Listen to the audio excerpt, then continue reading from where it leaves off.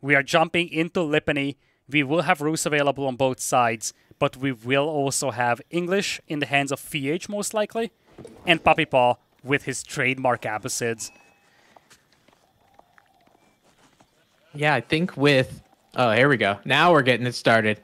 For some of the introductions, this is the grand finals of Afreeca TV duos spawning in on the warm colors. You have Puppy Paw playing as the Abbasid Dynasty on the western side, spawning to his north is Lash playing as the Rus, and those cold colors spawning in the south side, both FeAge as the English and Beasty as the Rus. So Lidakor, now that this game is first started, I have a question for you because a lot of the times on Lipany we see Rus and Abbasid. So what are some of the advantages that FeAge can have playing as the English uh, instead of something like an Abbasid? Well, I feel like a lot will depend on how he's going to open this game. We have seen some aggressive English builds in this tournament. We have seen a lot of use for the Dark Age Men at Arms. We've even seen some uh, kings being utilized in Feudal Age. I don't think that's going to be the case over here. I think we will just see a relatively slow-paced English build-up. I would not be shocked to see a second TC build. Beasty is playing the Rus and he loves the professional scouts build. I could see that being a thing. With the English, could be some level of poking around with longbows. But I feel like given how boomy and how defensive this map is usually played, I have a gut feeling that it's either gonna be a fast castle from FeAge into the council or into the King's Palace for a second TC, or probably a second TC build from him. I'll be somewhat surprised if we just saw the standard Knights plus Longbows combination.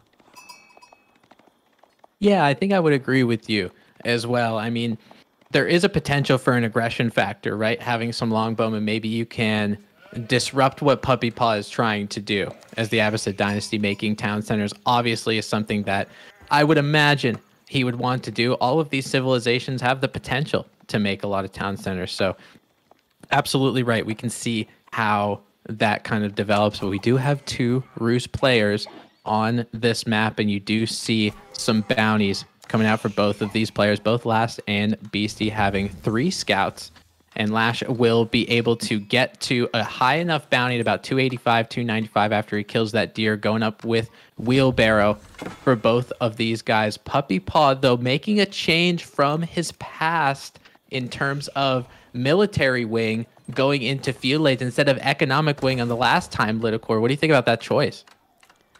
I can say the same thing about the military wing as I said in the semifinals that we've cast. I feel like it comes down to how effectively can you use those initial two spears and the two archers. If you don't get any value for them, it's gonna be an underwhelming choice. And I feel like against these civilizations, I just do not see those two archers and the two spears being very useful. You're up against the English, there will be a couple of longbows to push you away. I feel like I'm not necessarily against the military wing choice over here, but I feel like it can accomplish way less than what it could do against some other civilizations. Yeah, I could definitely see that happening. The military wing just giving those two spears and two archers, it just means when that council hall does get completed, and it will get completed before that military wing, it means he might be able to get some longbowmen out and disrupt the area. The other player that that military wing would be going up against is the Rus that's putting a Kremlin quite quite forward. You could see it, and Lash's Kremlin as well. I would have to say, in terms of Kremlin spots, I love Lash's. Look at how many deer are out there. That's a lovely spot, and don't forget, we've talked about this one. We have seen it in the semifinals as well. Beast loves his Pro Scouts build. So not only are you securing the hunt for yourself, you also possibly prevent Beasty from stealing all those carcasses from you. Yeah, that's a lot of things that Rus like to do. We've seen pro scouts off of some of those, so maybe it will prevent the potential of getting yoinked later in the game. But Beasty, I think instead of that second town center, we took a look at his base just a little bit ago, is going to go with a stable. Already has a knight in queue. We're seeing that military wing trying to quote unquote pay off. And what's really nice from Puppy Paw, he finds that one longbowman that might end up going down just because of the mobility of the longbowman itself. And it does getting some of those early picks, making sure those longbowmen don't get too masked up. To be honest, I feel like this this military wing from Puppy Paw is paying off a little bit because it's keeping those longbowmen back home. That's a fair point. It is definitely something that limits the movement of those initial longbows. But at the end of the day, I think a lot comes down to how you escalate from this. I think, as I said, I would be somewhat surprised if FeAge just played one TC longbows here. That feels a little too old school to me. It feels a little lackluster to me. Although Beasty's playing double stable, so we will see a lot of knights. But I think if you play into longbows here, you need something else. Maybe a second TC into longbows, but it looks like we have none of that. I don't know how I feel about this. This could backfire pretty quickly. Beasty and FeAge will play aggressive here. They might be able to finish the game in the next 5 minutes and just steamroll a team that's focusing very heavily on the eco. Or they might not be able to do enough damage and then Puppy Paw and Lash will just outboom them and snowball the game in 15 minutes. Yeah, these next five minutes, I agree, are going to be super pivotal. I see a blueprint for an outpost for FeAge, so it looks like he's going to try to get that network of castles upgrade as quickly as possible, and we're sending a villager up to do that. The issue is this secondary town center, really good synergy by both the Rus and the Abbasid. And the reason why that Kremlin is right there, second town center, ends up going up and a lot of the resources that Puppy Paw wants to collect are a little bit behind that town center. He's shielded from Longbowman for the time being.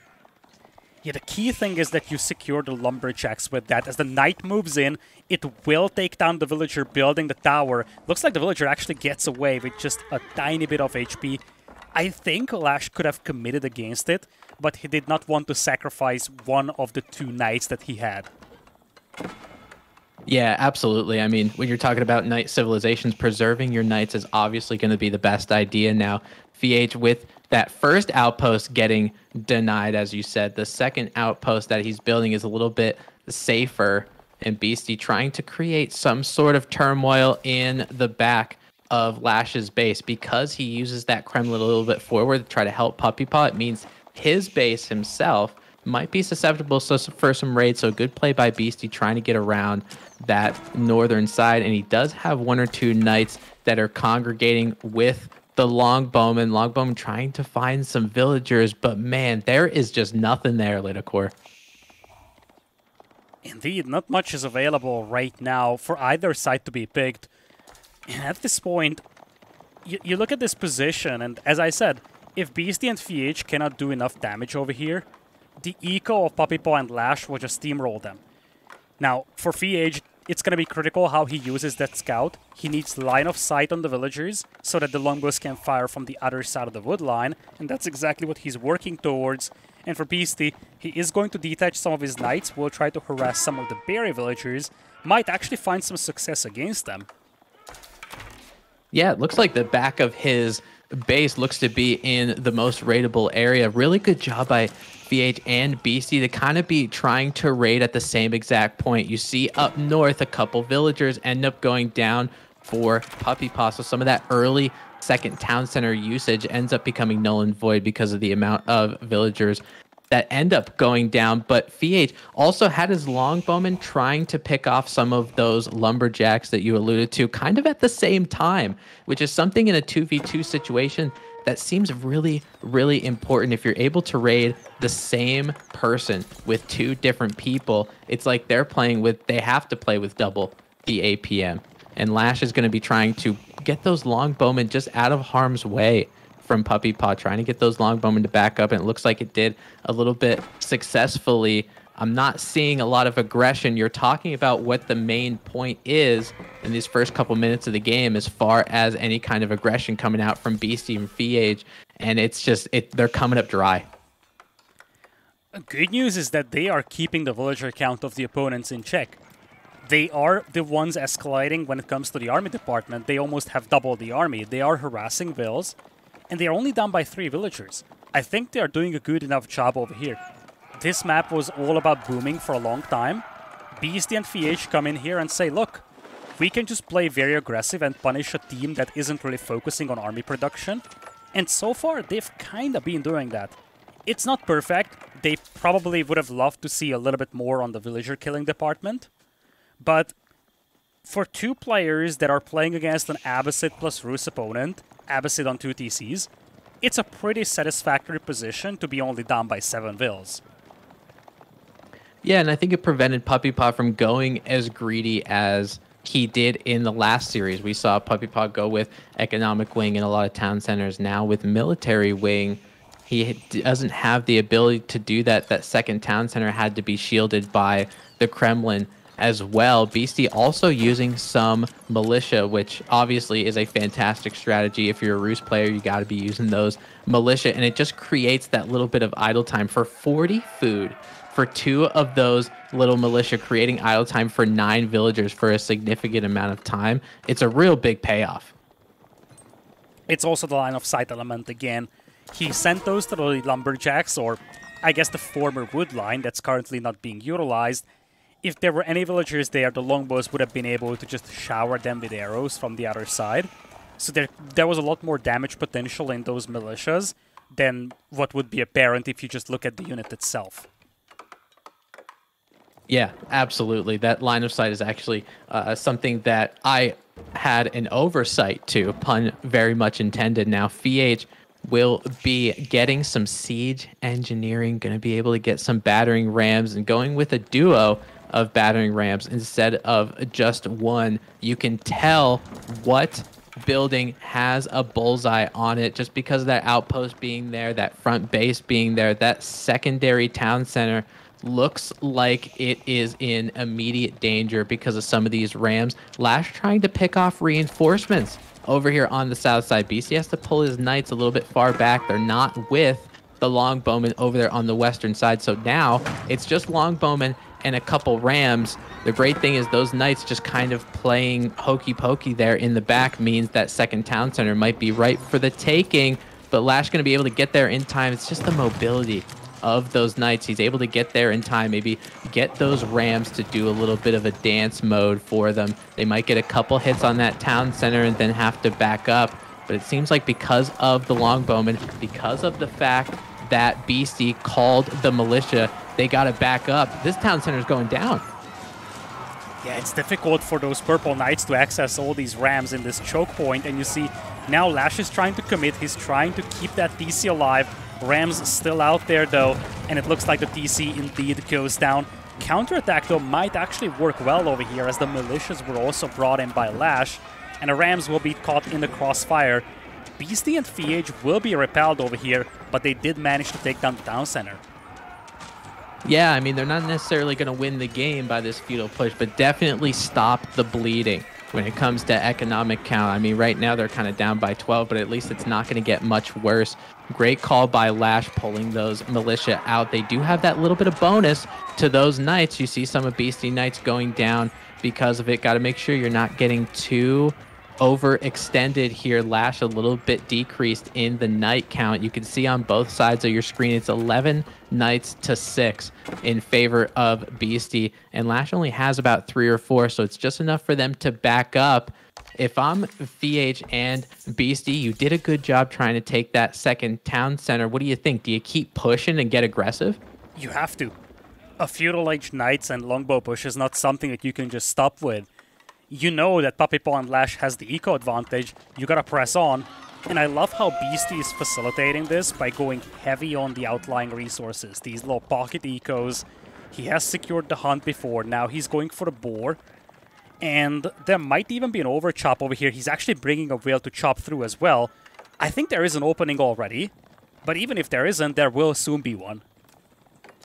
Yeah, these are the kind of cheeky plays that I wanted to see in this series, and we're only in game one. Puppy Paw, there was a chop through there, Lidakor. You were correct, but Beasty with that villager doesn't really need the chop. He ends up getting out of harm's way. Lash going to be able to help out just a little bit. He uses his own early knights in this department, but just because a lot of those knights are there trying to protect Puppy Paw's villagers, it means they're not over on the south side And if there is some kind of battle, Lash is going to have to pull his knights back there if he wants to succeed and if he wants to stop this push from happening. The really great thing is that Kremlin over there on the south side making sure that it doesn't go any further. And look at what FeAge is doing. He's actually moving his entire longbowman mass where not very a mobile army.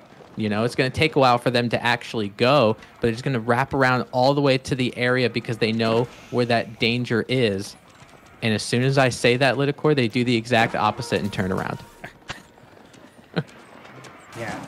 Towers are getting cleaned up over here, so no more attack aura for FeAge. And this Archer mass is building up for Puppy Paw as well, but he is not being supported by Knights right now. And Beasty and FeAge will see this, they will dive. There is still the Kremlin, though, to defend with and militias have been called upon by Lash. They will stand, they will hold this, and they still do have a minor eco lead, but that is where the King's Palace comes into play for FeAge, and this is going to be the first time where FeAge and Beasty will start building up an eco lead compared to their opponents. Yeah, that King's Palace is going to be really influential in the context of this game going forward. Puppy Paw also playing suit and going the Castle Age route and will be going economic wing. Beasty doing a good job finding raids in multiple areas, but it looks like he's not going to get much in the way of villagers. And we see this a lot, Lidakor, while these guys are going up to Castle Age, where the Knight Civs are okay in Feudal just because of how good they are in Feudal Age. Those Knights can still hold their own even though they're an age behind. They for sure can. It's, it's a premium unit in Feudal Age, but you also have to be very cautious. You cannot fight against Castle Age armies. Once there are crossbows, once there are some camel riders possibly, you do have to find a way up to Castle Age.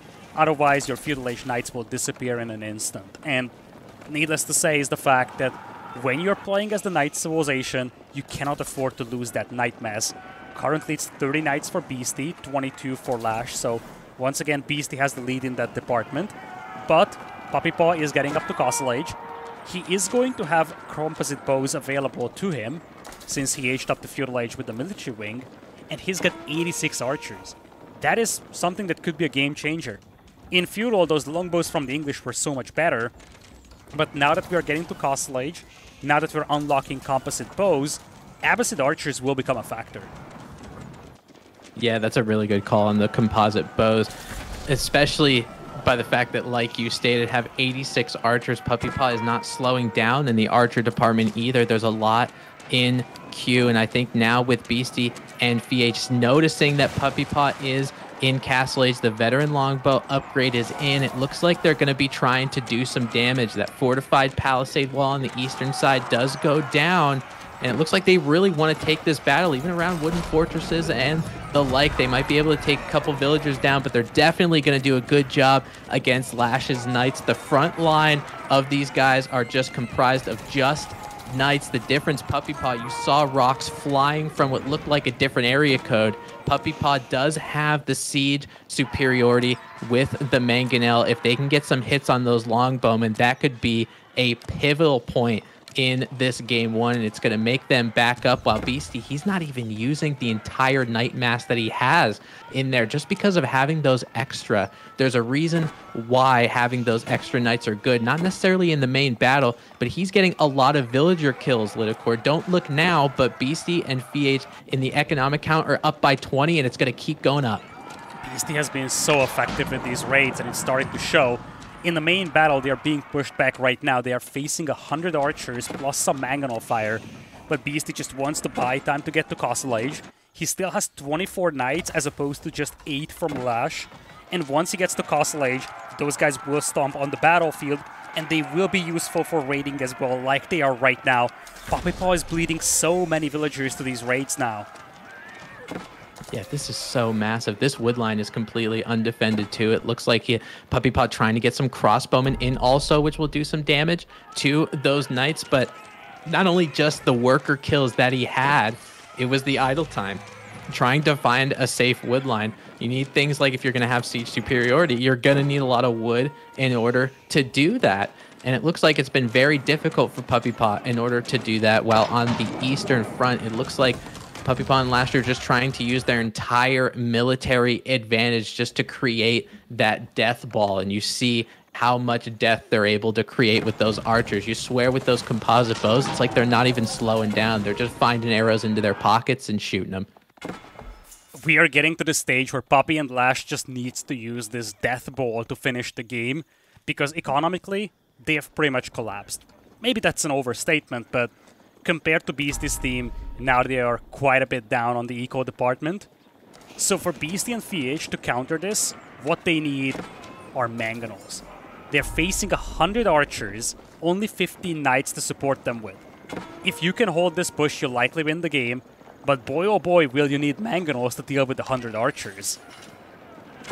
Oh my god, yeah, and there's only one side that actually has mangonels, and it's Puppy Paw and Lash's side, just with that one mangonel. Hopefully those knights from Beasty end up turning in the opposite direction.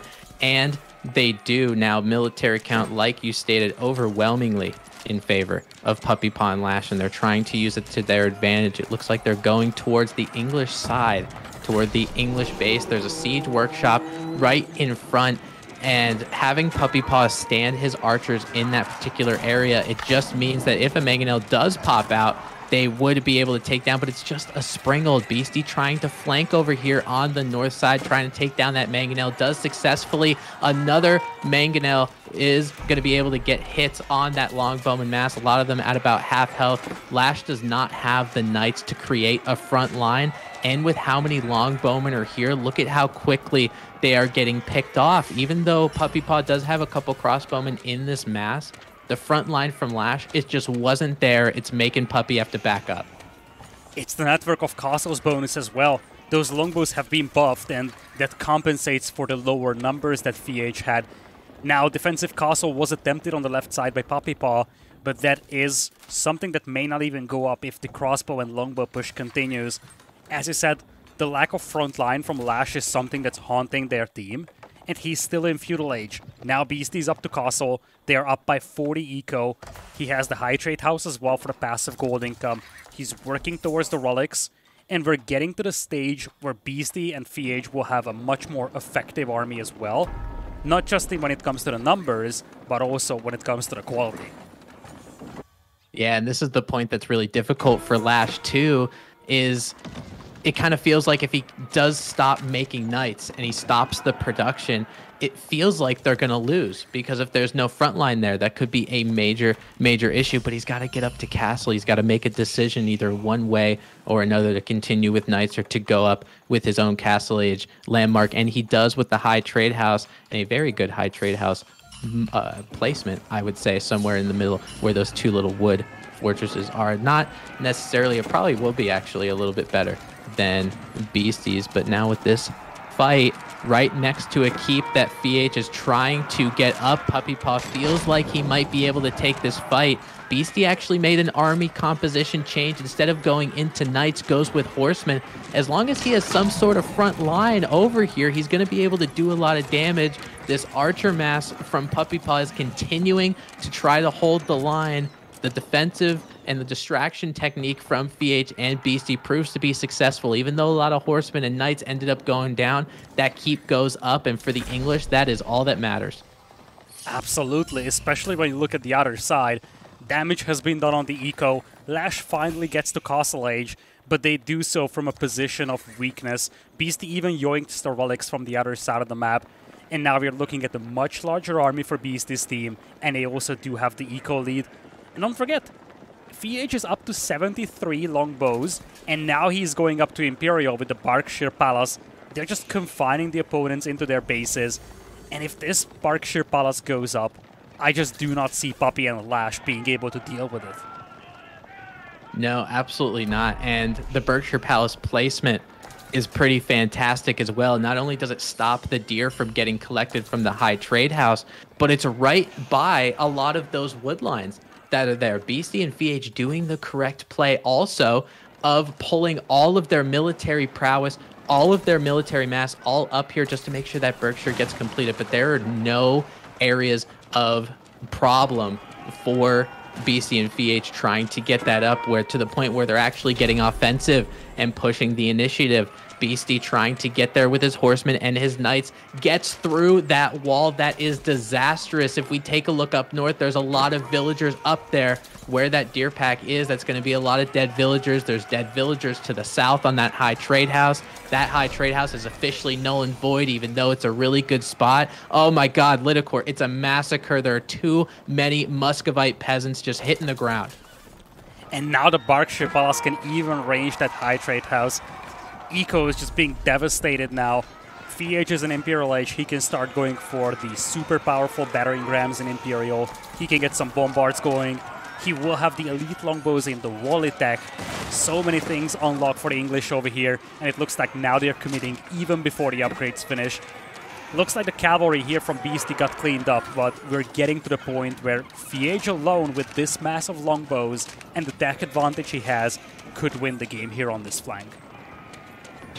Yeah, you're exactly right. He might be able to win it by himself, and especially with the Berkshire Palace behind him creating a little bit of help, it means that Lash and Puppy Paw, they can't go that much farther outside of the base. You see, as soon as they do, the Berkshire Palace isn't even on screen, and it's starting to fire arrows in this area. It's trying to take down the High Trade House one fiery arrow at a time. And it looks like even with FeAge being in Imperial and having the farm economy that he has, look at that tribute 1,000 food sent to Beasty. And what does that mean? Beasty can go to Imperial Age almost immediately. And we have a Spasskaya Tower sighting, Lidakor. I'm very, I'm right now very mad that FeAge didn't age up with the White Tower, because then we would have seen basically all the keep style landmarks available for these civilizations here. We have the Berkshire Palace, we have the Spasskaya Tower. The only thing that we're missing is the White Tower, but yeah, that's gonna be such a strong point again. And it's going to be extremely difficult for Poppy's team to break out of this stranglehold. They are facing some of the most powerful keep landmarks. You see the Berkshire Palace firing these arrows over a long distance. And I have the Spasskaya Tower, which actually is one of the highest HP landmarks in the game. It does have 10,000 HP by default. Yeah, 10,000 HP and does come with all of those weapon emplacements that you see. You saw a Springald Bolt, you see cannons fire, and it's got everything that tower. And it also has a nice little landscape, nice little courtyard outside that Spasskaya Tower. How about that? Beasty now with Imperial Age, going to be able to get those elite knight upgrades and probably stick in that knight department because of how good his economy is. Puppy Paw and Lash are trying to counteract some of the economic deficits that they have. And Puppy Paw with Imperial is actually going up with Trade Wing. It begs the question, Lidakor, if they even get a trade route situated, is it even safe? I, I feel like that's a long-term question right now. This is more about just aging up with something. Mangonel could actually get a good angle here from the hilltop. There's no line of sight for FeAge. He could get surprised over here. Oh no, those mangonels, they're going to be perched atop the cliff. Let's see if they actually unpack. They do get shots off. FeAge is none the wiser. Look at those hits. So many longbowmen end up going down. That's about 10 to 15 just turned into fertilizer for that wood patch over there to the northeast. That is a big amount of military that ends up going down. And just because of that little perch that's right atop, I think Beasty and FeAge have to start thinking about a different area to raid. Oh, man. Still, when you look at the situation in this game, you have two players in Imperial. Both of them have pretty much all the upgrades they need. Now they are creeping up with siege weapons. And Puppy Paw is actually adding trade over here to compensate for the eco deficit. But right now, his team only has one player with a meaningful army. Lash is still recovering from all the wounds that he has sustained. He has lost access to the high trade house, he has lost access to a lot of resources, and it will take a long time for him to get back to meaningful knight numbers, and it will take a long time for him to get to Imperial Age even.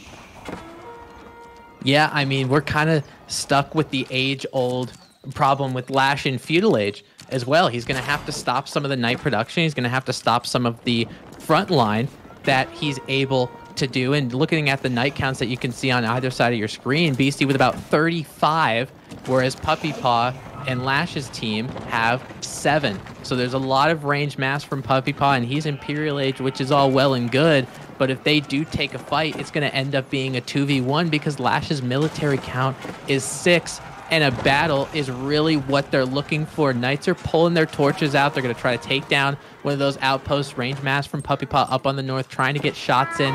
A Culverin pops out of the sheet, the siege workshop, and just as it was born, it ends up losing its life. That's a lot of resources that end up going the way of kindling and firewood. Now that range mass on that north side, couple mangonels behind it as well, trying to get some good shots on the long bowman. Good way of micro from FeAge. And to be honest, from somebody who is a developer, does a very good job of micro, making sure his long bowmen stay alive. Those elite knights from the Rus, from Beasty, they do have their nice little axes. You can see that season five change very well. They do have that little bit of increased attack, and it means that they can find villagers and take them down so quickly. Lidakor, the economy for Puppy Paw and Lash is starting to absolutely fall apart. It's just a death by a thousand cuts at this point. For a long time, Beasty and FeAge had the momentum, and now they are starting to close out this game. They are both in Imperial, and every once in a while they manage to find opportunities to pick off villagers, and it's starting to show. Now the Knights are charging in, Archer numbers dropping heavily over here for Puppy Paw. He will tap out, and so will Lash in the grand finals of the Afreeca Duos, it is Beasty and FeAge who take game number one. Ooh, what an amazing first game to really set the tone of what this best of seven really has to offer. And I think, I mean, if we're going to dive into a little bit of post game analysis, it just felt like as we got to the ending stages of that game, it felt like Lash was just kind of left behind. You know, he didn't get the Imperial Age invitation and he's just stayed in Castle for long enough just because he kept getting raided. And with that, we do have game one in the books. We will be heading to the first home map selection of Puppy Paw and Lash. Will be interesting to see whether they choose one of their own home maps or whether they feel more confident playing on one of the home maps selected by their opponents. It looks like they're going to go with one of their own home maps. They are going to be playing on Baltic, and we have a mirror. It looks like a Rus and HRE mirror, arguably two of the top water and hybrid map civilizations. Okay. Now, you might be wondering, sitting here, how come you have Rus available? That wasn't the case so far. So one of the things to consider here is that we only have 10 civilizations in the game, which means that if we play a best of 7, we will run out of civilizations by game number 6. So the rule for the best of 7 is that each civilization is available twice, but you cannot pick the same civilization in the same game. So you cannot have double Rus, you cannot have double Abbasids in a game. But what you can do is pick Rus twice, and that's exactly what we are seeing over here. That's how we ended up with Rus being utilized here and in the previous game as well. Yeah, and I mean honestly, I know I'm a biased person, but uh, the more Rus, the better. To be honest, I love seeing them not only on hybrid maps show their prowess with the wood economy that they're able to do, but on land maps like on Lipany that we just saw, and we just saw Beasty put on a clinic as the Rus. He's been doing so well with that civilization throughout all the semifinals and the finals. But let's not slouch on HRE either. They can get some good wood economy going with that Aachen Chapel. Indeed. And this is going to be one of the more intriguing games to watch in this entire series. You look at Dry River, you look at Rocky Canyon, Dry Arabia, Lipany we have seen a lot of games in this tournament on these maps. But for Baltic, we haven't really seen that much. In fact, I would be shocked if I learned about these players having practiced this map on the Season 5 meta a lot. I feel like when you look at the entire tournament, this map wasn't really played, and players probably focused their attentions elsewhere. So this is one of those maps where we could see a lot of intriguing things, that are associated with players not having this map practiced as much as they did on other maps. Yeah, and come to think of it, that's actually a pretty good point. From watching both of these guys stream, and usually this is what I do when I get home from work, I just watch everybody play AoE 4 because I'm too tired to play it myself.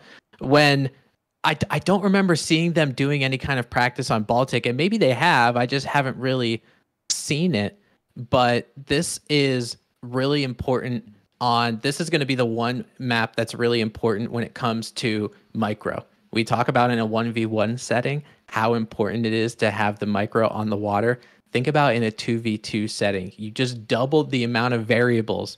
You doubled the amount of things that you have to worry about on your side. So we're going to see how important micro is in a naval battle which it's just it's so massive you can see one of these random demo ships get hit and can just pun intended turn the tide of course with Rus having been picked in the first two games for both teams it means that Rus will no longer be cited in the remaining games hre will be taken away as well now this opens up an interesting discussion. How do you distribute your remaining civilizations? You have that feeling that English and HRE could make an appearance on Mountain Clearing. Malians, a very popular pick on Cauldron. We still have double Mongols available for both teams. One Abbasid is still available for Puppy and Lash, and we know how much Puppy loves it. A lot of intrigue coming into the remaining games as we start depleting these civilizations. Yeah, and there's one particular knight civilization that has not gotten picked yet. You did talk about the Mongols with Keshiks, but there's a lot of open maps left, especially on Beasty and FeAge's side with Dry Arabia, Rocky Canyon, Dry River. All of those are really good maps to pull out of French. So they could have some favorable matchups going forward. That first game, even though it's just one game, it could really set the tone here for the rest of the series. All right, we just have one and a half minutes left to go here. Needless to say, this is an important game for Puppy and Lash. This is one of their own home maps. They've lost the neutral map, Lipany. If they end up losing this, Beasty and FeAge will have a 2-0 lead. And from that point on, we basically have two options for Puppy and Lash. Go for either one of those closed maps, Cauldron or Mountain Clearing, or go for one of those very open maps. Now, the issue that oftentimes exists with choosing home maps that are very similar to each other is that if you are unsuccessful on one of them, you might be unsuccessful on both. So, this is one of those cases where if you fall to 0, there are two types of maps. What if you struggle on these closed maps, Cauldron and Mountain Clearing? It's going to be very difficult to close out the set like that. And do you think just because that has the potential of that happening, maybe they lose on either Cauldron or Mountain Clearing and then they need to pick a map again? Do you think because of that they're going to pick not the other one? Do you think they're going to pick some of the Beasty and F and uh, FeAge's home maps? Very possible, although bringing a match point game to the opponent's home map would be kind of suicidal. I think if Puppy and Lash lose over here, I think that's the time for them to pick a home map from Beasty and FeAge. Because assume that they lose that too, they would at least play a match point game on their own home map. Obviously, this is very much of a far fetched conversation. We'll have to see how this game goes. But I think this discussion just showcases how important this game could end up being for Puppy and Lash. So, for them, this being a mirror matchup, them being one game down, this is a very important game coming up, folks. We're jumping into Baltic in a matter of seconds. It is going to be a mirror of the Rus and the HRE. Beasty and FeAge have a 1-0 lead right now against Puppy and Lash.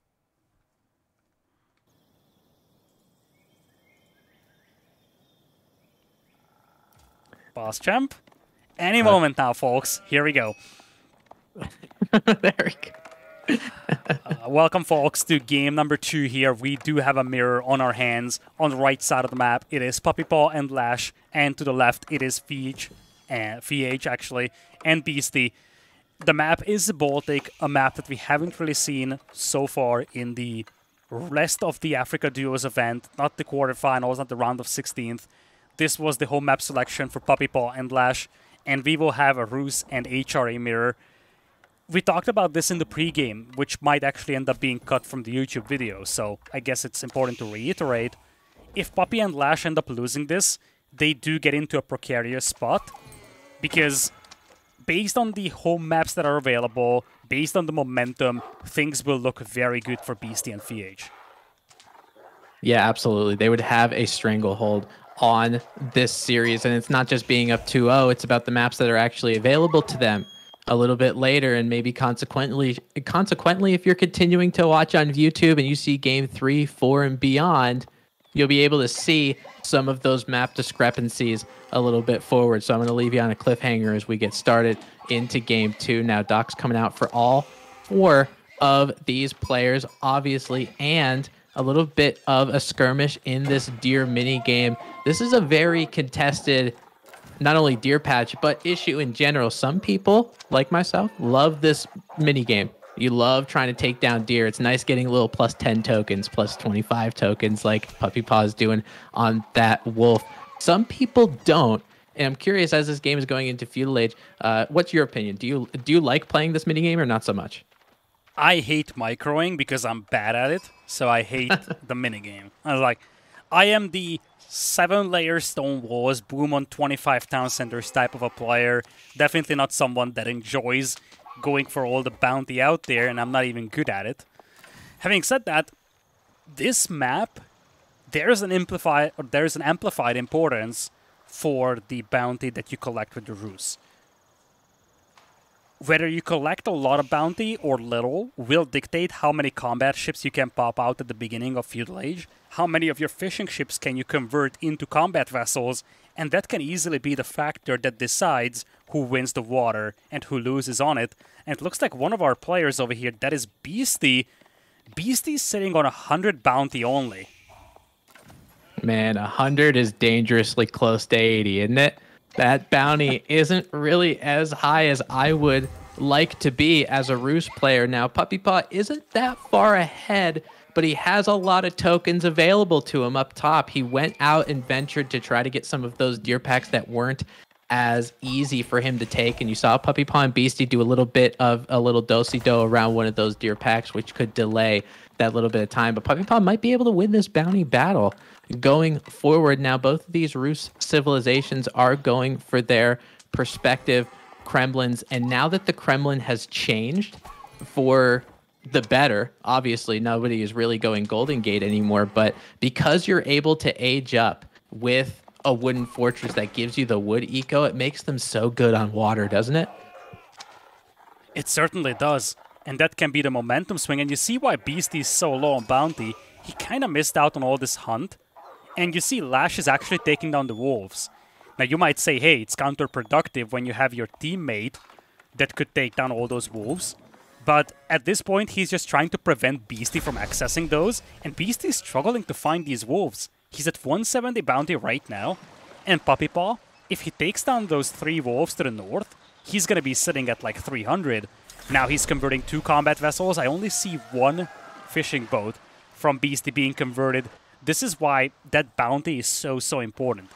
It's going to govern who gets the early advantage on the water, and I think Beasty isn't able to afford a second ship conversion.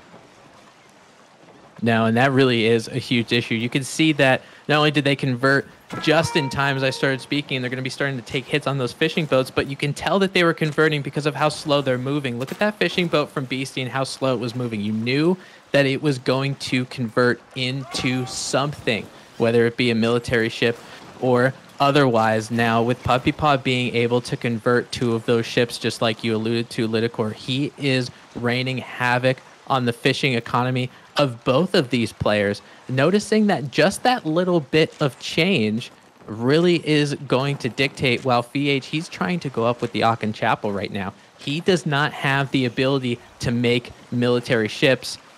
Lash on the other side, also trying to get to Feudal Age himself, but Puppy Paw is definitely coming out on top in this perspective area. And there's a demo ship over here as well. He's trying to get a connection on the fishing boats Beasty and FeAge have to be very careful here. Nice little teamwork between the two. They are healing up Beasty's ship with the fishing boats of FeAge. And this allows Puppy Paw and Lash to be repelled by Beasty and FeAge. But don't forget, behind this, FeAge has his fishing ships idled, whereas Lash, or yeah, that is Lash, that is the other HRE player, Lash has had those fishing ships working the whole time. Yeah, and that shows how important doing things like a conversion is. You want to get a navy. You want to get a military presence out as soon as possible. And Puppy Paw did that just a little bit better than Beasty. And hopefully, with FeAge, now that he does have his fishing economy a little bit safer now, maybe he'll be able to get some food going forward. Because you got to remember some of the changes that have been made to the water. Now, this necessarily isn't a season five change, but it has been going on for a few months where a lot of these ships still cost a little bit of food. So you need to still have some fishing boats to get some food economy to make things like uh, attack ships or springald ships. So when you have just a couple of them, it's really going to help you out and really going to maintain that kind of navy going forward. Puppy Paw also continuing on land as well. One of the great things about the Kremlin, you're going to be able to divert your opponent in two different areas. They want to focus on water, but there's stuff going on on land. Kremlin militia are trying to get some pot shots on those HRE villagers of FeAge while on the water. Beasty's trying to take it to Puppy Paw with a couple of Springald ships, attack ships. No villagers are going to end up going down from this raid by those militia, but it just means that the HRE have a little bit more idle time in the wood department. This is a key thing in a mirror matchup like this. It might not seem like it's much, but it will come to fruition for Puppy Paw and Lash when you look at the overall resources gathered. I guess the fact that now we have a lot more bounty for Puppy Paw will just fade into insignificance, although he's going to have tier 2 and Beasty won't. But right now, the implications of that can be seen on the water. The army count is looking a lot better for Lash and Puppy. And if they can idle these fishing ships, again, it will start to snowball that will slowly start rolling down hills. Oh, absolutely. I mean, this part of feudal age is very, very important. Trying to get some a little bit of majority presence of the navy on water, and you got to pay a particular attention to what either rock, paper, or scissors is going to be up against what. And where it's really important, take a look at the cues from all of these players. That demo ship from Lash trying to get in and get some good shots on Springald ships, but not quite getting there. We have some Springald ships on, taking down some of those Rus attack ships over there on the south end. You're talking about military strength. The military strength is showing in the way of Puppy Paw and Lash. They're continuing to use their navy, kind of back Beasty and FeAge up just a little bit to their respective docks before they start moving out just a little bit. And while this is all happening, Lidakor, we're continuing to have Kremlin gremlins getting fed after midnight and creating some idle time. These are some lovely fights for Puppy and Lash. These militias are paying so much for their prize. They have not only managed to idle the villagers, now they managed to kill quite a few, and a lot of fishing ships from FeAge also got caught in the crossfire of these naval battles. We're getting to the stage where the eco of Lash compared to FeAge, so when you compare the two HRE players, you will have an advantage for Lash. Here come the militias from Beasty, however, and he could retaliate on the other side. He needs to retaliate, because with the advantage that Lash has, it possibly opens up a window to get to Castle Age, or just to double down on water and possibly win it in feudal. Yeah, and I think there's enough militia there on the northern side as they're starting to matriculate their way down south. There's enough there where it's something that you need to deal with. And it looks like they're going to go right on that wood line, taking hits on some of those villagers. Now, what's uh, nice is that Aachen Chapel is giving the prelate its megaphone, so all of those villagers end up getting inspired. But if you're not collecting wood because of all of those gremlins, it doesn't really matter as much. And now that the clock struck midnight on those militia, they can safely pass away knowing that they've done enough damage to a wood line. Demo's now creeping up here. Both sides are mixing those in. Needless to say, a single demo hit can turn the tide of the battle here on the water. Both sides will be very cautious microing those to the back line. Yeah, look at the kind of micro out from these guys' players. It's demo ship on demo ship. Happy 4th of July, everybody. That was five or six different demo ships just combusting and creating shipwrecks at the bottom of the sea continuing to have Kremlin militia raids, military count for these guys 83 to 64 in favor of Puppy Paw and Lash. And I feel like these raids are a big difference. Not only is Puppy Paw using militia, you saw a cavalry unit over there. There was a horseman creating raids while on the water. Beasty and FeAge trying to get their forces together. It looks like they're doing a good job making sure that they're sticking together and trying to take it to the other Pegasus docks. Lash's Navy is not near Puppy Paws very much. It looks like Beasty and FeAge trying to do a little bit of a 2v1. Puppy Paw coming back from the south, getting rid of that demo ship with his archers. Good display of micro in that regard. There's a demo ship over there that we don't even get to see explode. The game got called. Oh my lord. Talk about a quick game over here. In just 11 minutes, Puppy Paw and Lash will strike back. And when you look at this game, it all comes down to two things. The bounty collected by Beasty and how he fell behind in combat ships compared to his Rus counterpart. And then more importantly, what Puppy Paw could do with the militias, and even more importantly, later on the horsemen and the knights harassing FeAge's lumberjacks. You see, the damage that has been done to FeAge's eco was very difficult to overcome in a mirror matchup like this, and it does secure the game for Puppy and Lash. Critical game, as we mentioned. Now, in the hands of Puppy and Lash, they even out the series, and we will go into game number three on the home map of Beasty and FeAge.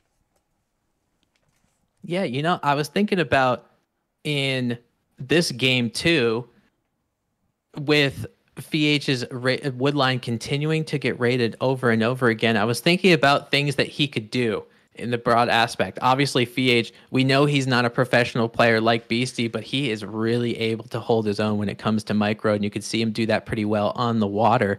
I was thinking about things like, you know, maybe you want to put an outpost down, maybe you want to put military production buildings and start making units and that kind of stuff. But it feels like when you do that, you're spending wood in an area you would rather not want to spend wood. You want it on water. So if he did to do if he did make some of those defensive structures, I think it would have hurt him in the Navy anyway. I'm not really sure what FeAge could have done to try to help himself. I think a lot came down to reactions initially. When you compare the raids that Beasty has done with the militias compared to Puppy Paw's raids, one of the big differences that were apparent is that Puppy was a, or Lash was able to pull back the villagers a lot faster. B or FeAge stayed out there for a long time, allowed the militias to do damage, and that meant that the militias could get a couple of picks before they expired. That wasn't the case on the other side. So while Lash was also raided by the initial militias, he didn't really suffer any major casualties. And I guess the fact that FeAge indeed had struggled against all those militias motivated Puppy Paw to commit more to this, added a stable, popped out a couple of cavalry units, and then punished FeAge. Uh, by the way, I also have to collect, uh, correct you on a thing. FeAge is actually a high level AoE 2 player, or, well, he used to be before he turned dev, but he's no stranger to competitive esports either. Not the level that Beasty has played on, but you see why Beasty picked him. He is a dev, that's great, but he also has a lot of high level playing experience. Oh, absolutely, and especially in a that I did know. I did know the AoE 2 that he did play a decent amount of. And it is as much as we really love the game of AoE 4, you got to give it to AoE 2 and the ability to micro. Doing things like dodging arrow fire. FeAge being a professional AoE 2 player, he's got the micro down to a science, I bet. You mentioned that French is not a civilization that we have seen in game number one and two. We will see it in game number three we are heading to the first home map of Beasty and FeAge, that will be Dry Arabia, and we will have the Malians and the French facing off against the French and the English. A classic civilization combo for Puppy and Lash, and we have seen how effective this can be in their hands. In the semifinals they have played, this was the civilization matchup that secured the series for them. We have seen a spectacular build from Puppy Paw, and I'm very curious to see if he's going to do the same thing here. Yeah, I'm really curious too. And, you know, this was something that we alluded to before game two when we were speculating about maps going forward. Fortunately enough for Puppy Paw and Lash, this is not a 2 0 situation where they're really scratching their heads trying to figure out what map to play on. But I will tell you, both of these French players, whoever decides to play French, they love the open area of Dry Arabia. Let me tell you, the ability to raid just each other, their prospective French players going forward is going to be very, very important. Now, Lidakor English has longbowmen. Obviously, we know how good longbowmen are. Malians have things like Farimba Garrison, because those are the two civilizations that are different in this matchup. I don't know. It feels like maybe just because I've seen more French and English, it feels it feels like English might pair up a little bit better. Quite possibly, but I feel like we are in for a very similar scenario than what we have seen Beasty and FeAge play against Marine Lord and Iona. It's gonna be French Knights supported by archers from the Malians and the English. But once Poison Arrows hits for the Malian player, you have a unit that will be able to destroy French Knights, and the English will never really get that for their longbows, or at least not to an extent that the Malians get it with Poison Arrows. And that I think is something that will swing it in the favor of Beasty and FeAge. We have also seen Beasty using the professional scouts or the warrior scouts mm-hmm. to harass the enemies first, then ferrying carcasses. I think he's going to try to do the same as well, then transition into the trade. I think if you are Puppy Paw and Lash, you need to punish in early to mid feudal. If it goes beyond that, you will see the effects of the carcasses being ferried in by Beasty, you will see the effects of a potential early Castle Age and Poison Arrows, and beyond that point, I do not think that the French or the English match up well against what Beasty and FeAge has. Mm, that's a very good point. There's a lot of different nuances that the Malians can do with the professional scouts. I mean, we saw Beasty in that last game with Eliona having two different packs of professional scouts just yoinking deer all over the field. And for how good of a safe food resource, because Busy he was giving it to FeAge, right? Trying to make sure that he was getting stable in the knight production. That pun was actually not intended with the stable. But the Malians having the ability to go professional scouts with some of those warrior scouts, maybe we'll be able to see how important that is in knight production. But I do know our overlay is initiating. We're ready to get in there. Indeed, in just a couple of seconds, we will be jumping into Dry Arabia. Don't forget, folks, that countdown is a little wacky. Sometimes it's um, a little off by, let's say, 10 15 seconds, but it usually is pretty accurate for us to hear the sheep and indeed, we are jumping into game number three over here. Welcome, folks, to the Afreeca Duos Grand Finals. Game number three, we have Puppy and Lash with the English and the French against FeAge and Beasty with the French and the Malians. The map is going to be Dry Arabia, and we do have a barracks opening from Puppy Paw. Very similar strategy to what we have seen in the semifinals. That worked to great effect. But when you look at the civilizations of Beasty and FeAge, they also had a very good game against Marine Lord and Iona in the semis. This composition was a winning composition in the semifinals for both of these teams. One of them will end up losing with this comp. Yeah, and I'm very curious to see which one actually does. I was really waiting for that Vanguard Men at Arms and that Barracks from Puppy Paw to come up, and he is going to make his first Men at Arms, going to hit the battlefield. We'll see if he makes a second. But taking a look at some of the spawns for FeAge and Beasty, you have some gold mines that are quite, quite forward. And Puppy Paw just spotted it. it looks like those men at arms, whether they go to the Malian side or the French side, it looks like they're going to have raidable areas. Obviously, your primary target with that men at arms will be the French player. In this matchup, a lot comes down to knight numbers, especially in early to mid feudal age. So you want to shut down the opponent's gold mining, the opponent's French player, and just make sure that you delay their knights production as much as possible, such that your own French player gets the upper hand when it comes to the initial knight numbers. Yeah, and we really saw that in one of the previous games with an English going up against a French. Those Vanguard men at arms are very helpful. FeAge actually has to vacate this front gold mine, getting a little bit unlucky on the spawn. That one villager just trying to get as much gold as humanly possible, trying to end up getting that 200. And with a game that's only just finished its second minute and going into the third minute, Lidakor with how quick those men at arms got there, that could really be a disruption in even feudal time. Indeed, it could be. Although usually players are able to gather enough gold for feudal.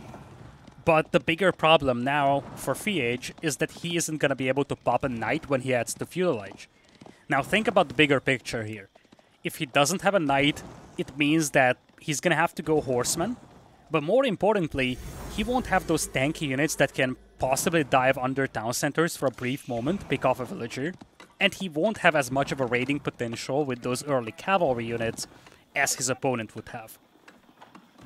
Yeah, absolutely. I mean, for these French players, they predominantly make up the front line.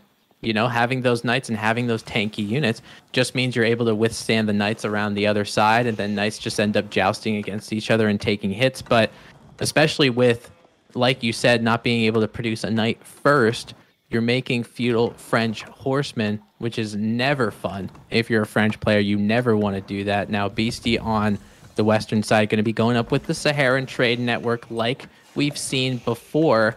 And I feel like, and I want to hear your opinion as well. I feel like just because of the spawn he's given, he really needs that trade network just to really defend that pit mine. He most definitely does. Especially if you look back how Beasty has played this civilization matchup in the semifinals.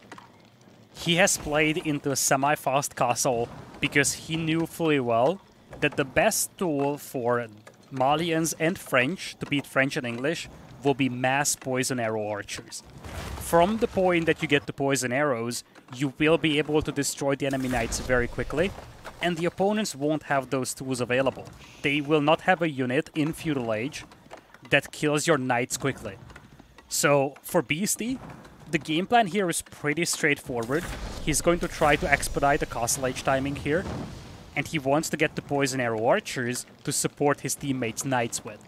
Now the issue that he's facing is that his teammate won't have Knights immediately because you see, right now, the mining camp is being denied, and FeAge is unable to access any gold.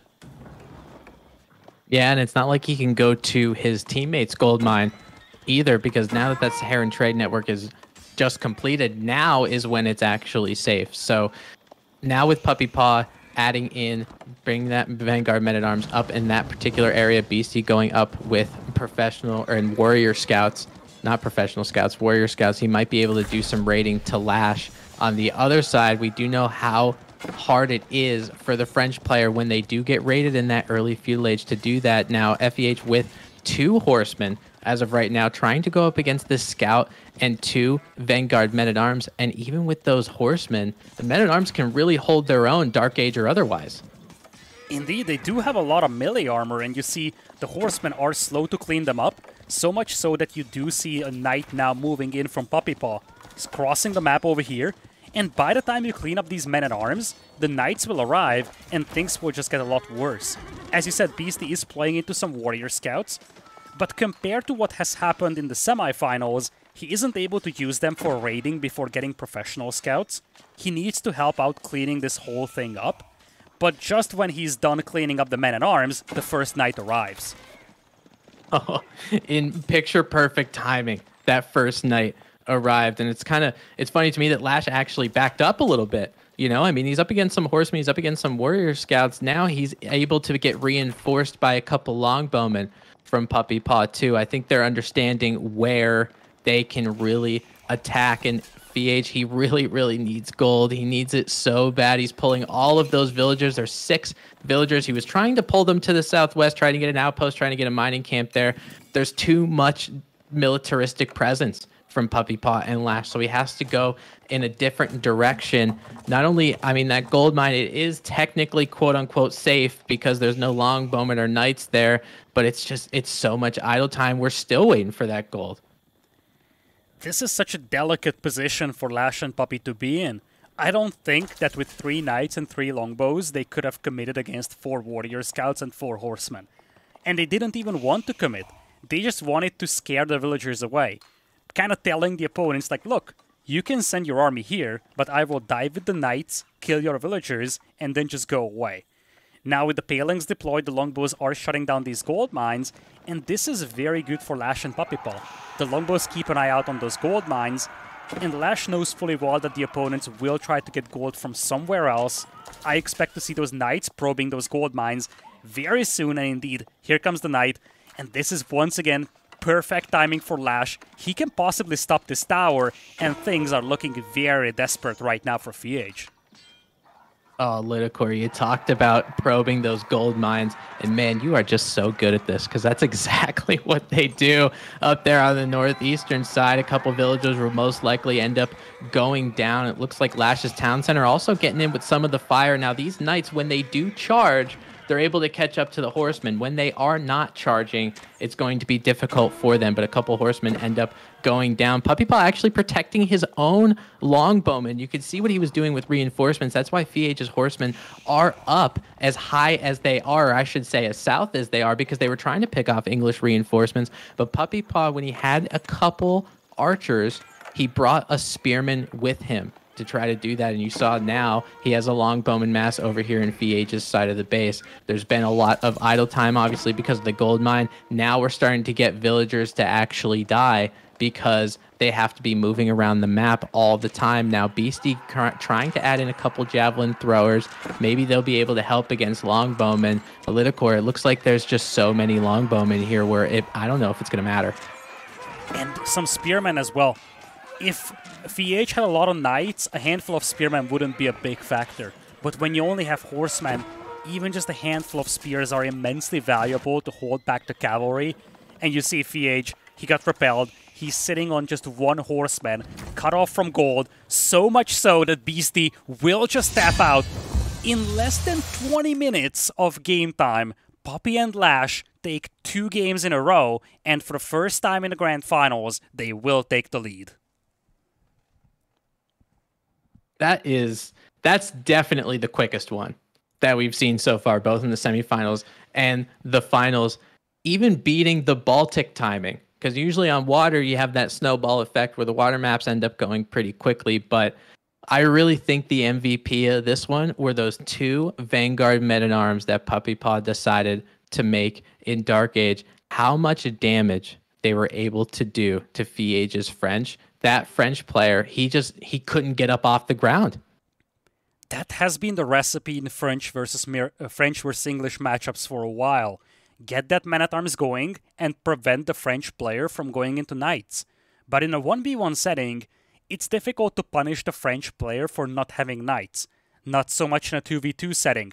The knights from Lash supplemented this aggression very well, and this is exactly how pla- how Lash and Puppy Paw has imagined this game.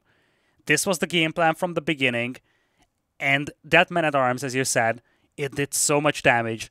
Obviously, the map generation wasn't very favorable for Beasty and FeAge, but this was a story of the men at arms shutting down the gold mine, and then just the knight numbers being massively in the favor of Lash as a consequence to that. Yeah, it just felt like FeAge, especially even even though we were in nine minutes into the game, it just felt like FeAge was always going to be battling uphill just because of those knight numbers. And I think we didn't see a lot from Beasty and FeAge in terms of that Malian French composition, so much so that they wanted to give it another shot. They're going to pick the same thing for game four on Rocky Canyon. I have mixed feelings about this. I, I I had to take a couple of moments to think over my thoughts about this. But here's the thing you look at Malians and French, what they have done against Marine Lord and Iona is still an extremely powerful build. But you need to have knight numbers initially for this. The entire build relied on the fact that Beasty isn't committing much to army. He is getting some warrior scouts. They both have mobility to raid and harass and that map control that they secure with the knights and the warrior scouts, it turns into carcasses with professional scouts. Those carcasses turn into a Castle Age, and Castle Age turns into poison arrows. That was the mindset, that was the strategy. Now, the alarming thing here for Beasty and FeAge could be that as much as the English men at arms could shut down the French gold mining, Ottoman spearmen can accomplish the same thing as well. I think the timing is gonna be insufficient if you play military schools for Puppy and Lash. But a Dark Age barracks spearman push, or possibly even military school plus barracks, could be detrimental once again to the gold mining operations of FeAge. Yeah, I mean, if it worked the first time in game three with men at arms, why mess with success? Right? I mean, if you're going to double down, you just kind of relayed the strategy that Beasty and FeAge want to do. It's kind of like the path to poison arrows essentially in gaslight and it really does. It does make a lot of a, a difference, and I could definitely understand why, especially in this matchup when you're going up against the Ottoman Empire, which will make a decent amount of ranged units, and those ranged units come in the form of not only archers but janissaries as well. We highlighted Janissaries in previous Ottoman games. Malians, whether it's poison arrows or otherwise, are going to be able to do really well against Janissaries and preserve French royal knights. So I agree with you. I mean, for Puppy and and uh, Lash, it's all about just getting there. You know, making sure that you are not letting Beasty and FeAge get to that poison arrow, much like we saw, much like the analysis that you gave us in game three, where just don't let them get to that point and you'll be okay.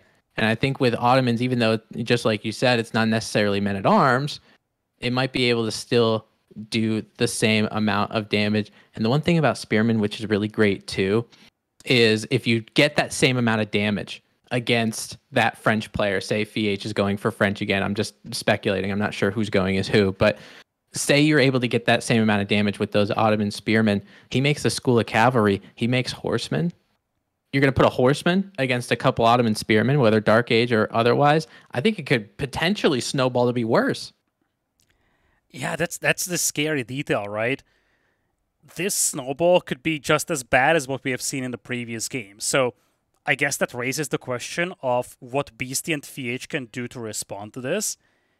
It's a tricky choice because you don't you do not even want to commit to a tower if you're FeAge we have seen that attempt in the Marine Lord series, if I'm not mistaken, dropping a tower to respond to the aggression, but that already sets the French player back a bit, and those small differences can be enough in a French versus French setup to fall behind a lot over time. So I think, as crazy as it sounds, I think the best choice might be Beasty going for a couple of Donsos at the beginning. That should secure the gold for his teammate, it would also mean that he has something to respond to some knight's harassment with, and then just continue on with the plan.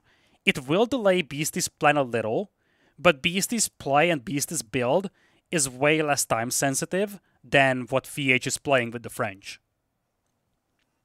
Yeah, absolutely. To be honest, I didn't really think about using Donsos in the beginning just because the Malians are so pressed on and the way the Malians have been played over the past couple seasons about getting things like your warrior scouts going as fast as possible and dropping a stable and doing all that kind of stuff. You don't necessarily think about putting a barracks down anymore for the Malians, but the donsos they do match up with the Spearmen. They have an extra melee armor, if I remember correctly, so they will be able to do good in a one-to-one combat if they're able to do that. And just like you said, they're able to have later game potential in being a good unit just because you know knights are going to be coming out as well. So I actually, Lidakor, I think you're onto something here. I think that's a good one.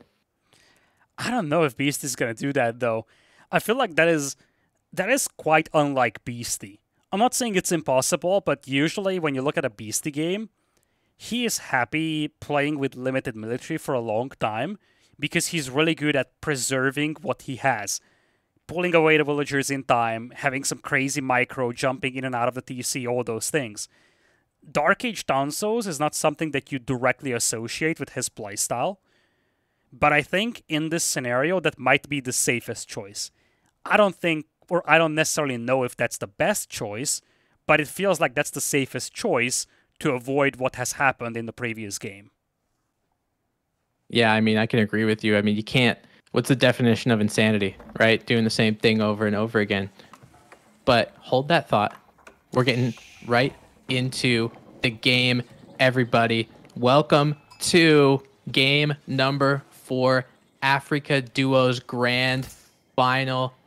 Spawning in in those cool colors, Beasty playing as the Malian, spawning to the north of him, playing as the French, is FeAge yet again, spawning in the south as the warm colors. Puppy Paw going to be playing as the Ottomans, and Lash going to be playing as the French over there on the south side. And for the people that are watching on YouTube, this is our fourth installment of trying to do this. We've had some crashes for game one, two, and three, but game number four a little bit different, Lidakor, and there's one reason why that gold from FeAge that is tucked away in the back. Indeed. As you can see, we are also missing our lovely Observer UI. Part of the reason why is because, as you highlighted, We had three previous crashes, and the issue of those, or the, I guess, the underlying cause of those crashes is not something that the devs are aware about. So at this point, we can just make some guesses. Well, it's not us, but the admins. Admins had to do their best to resolve this issue, and hopefully, we will have a game now without major crashes. As you mentioned, one of the key moments of the previous attempts as well as the game number three, where we had an English player involved on the side of Lash and Puppypaw, was pressuring that gold mine and cutting off the French player from gold.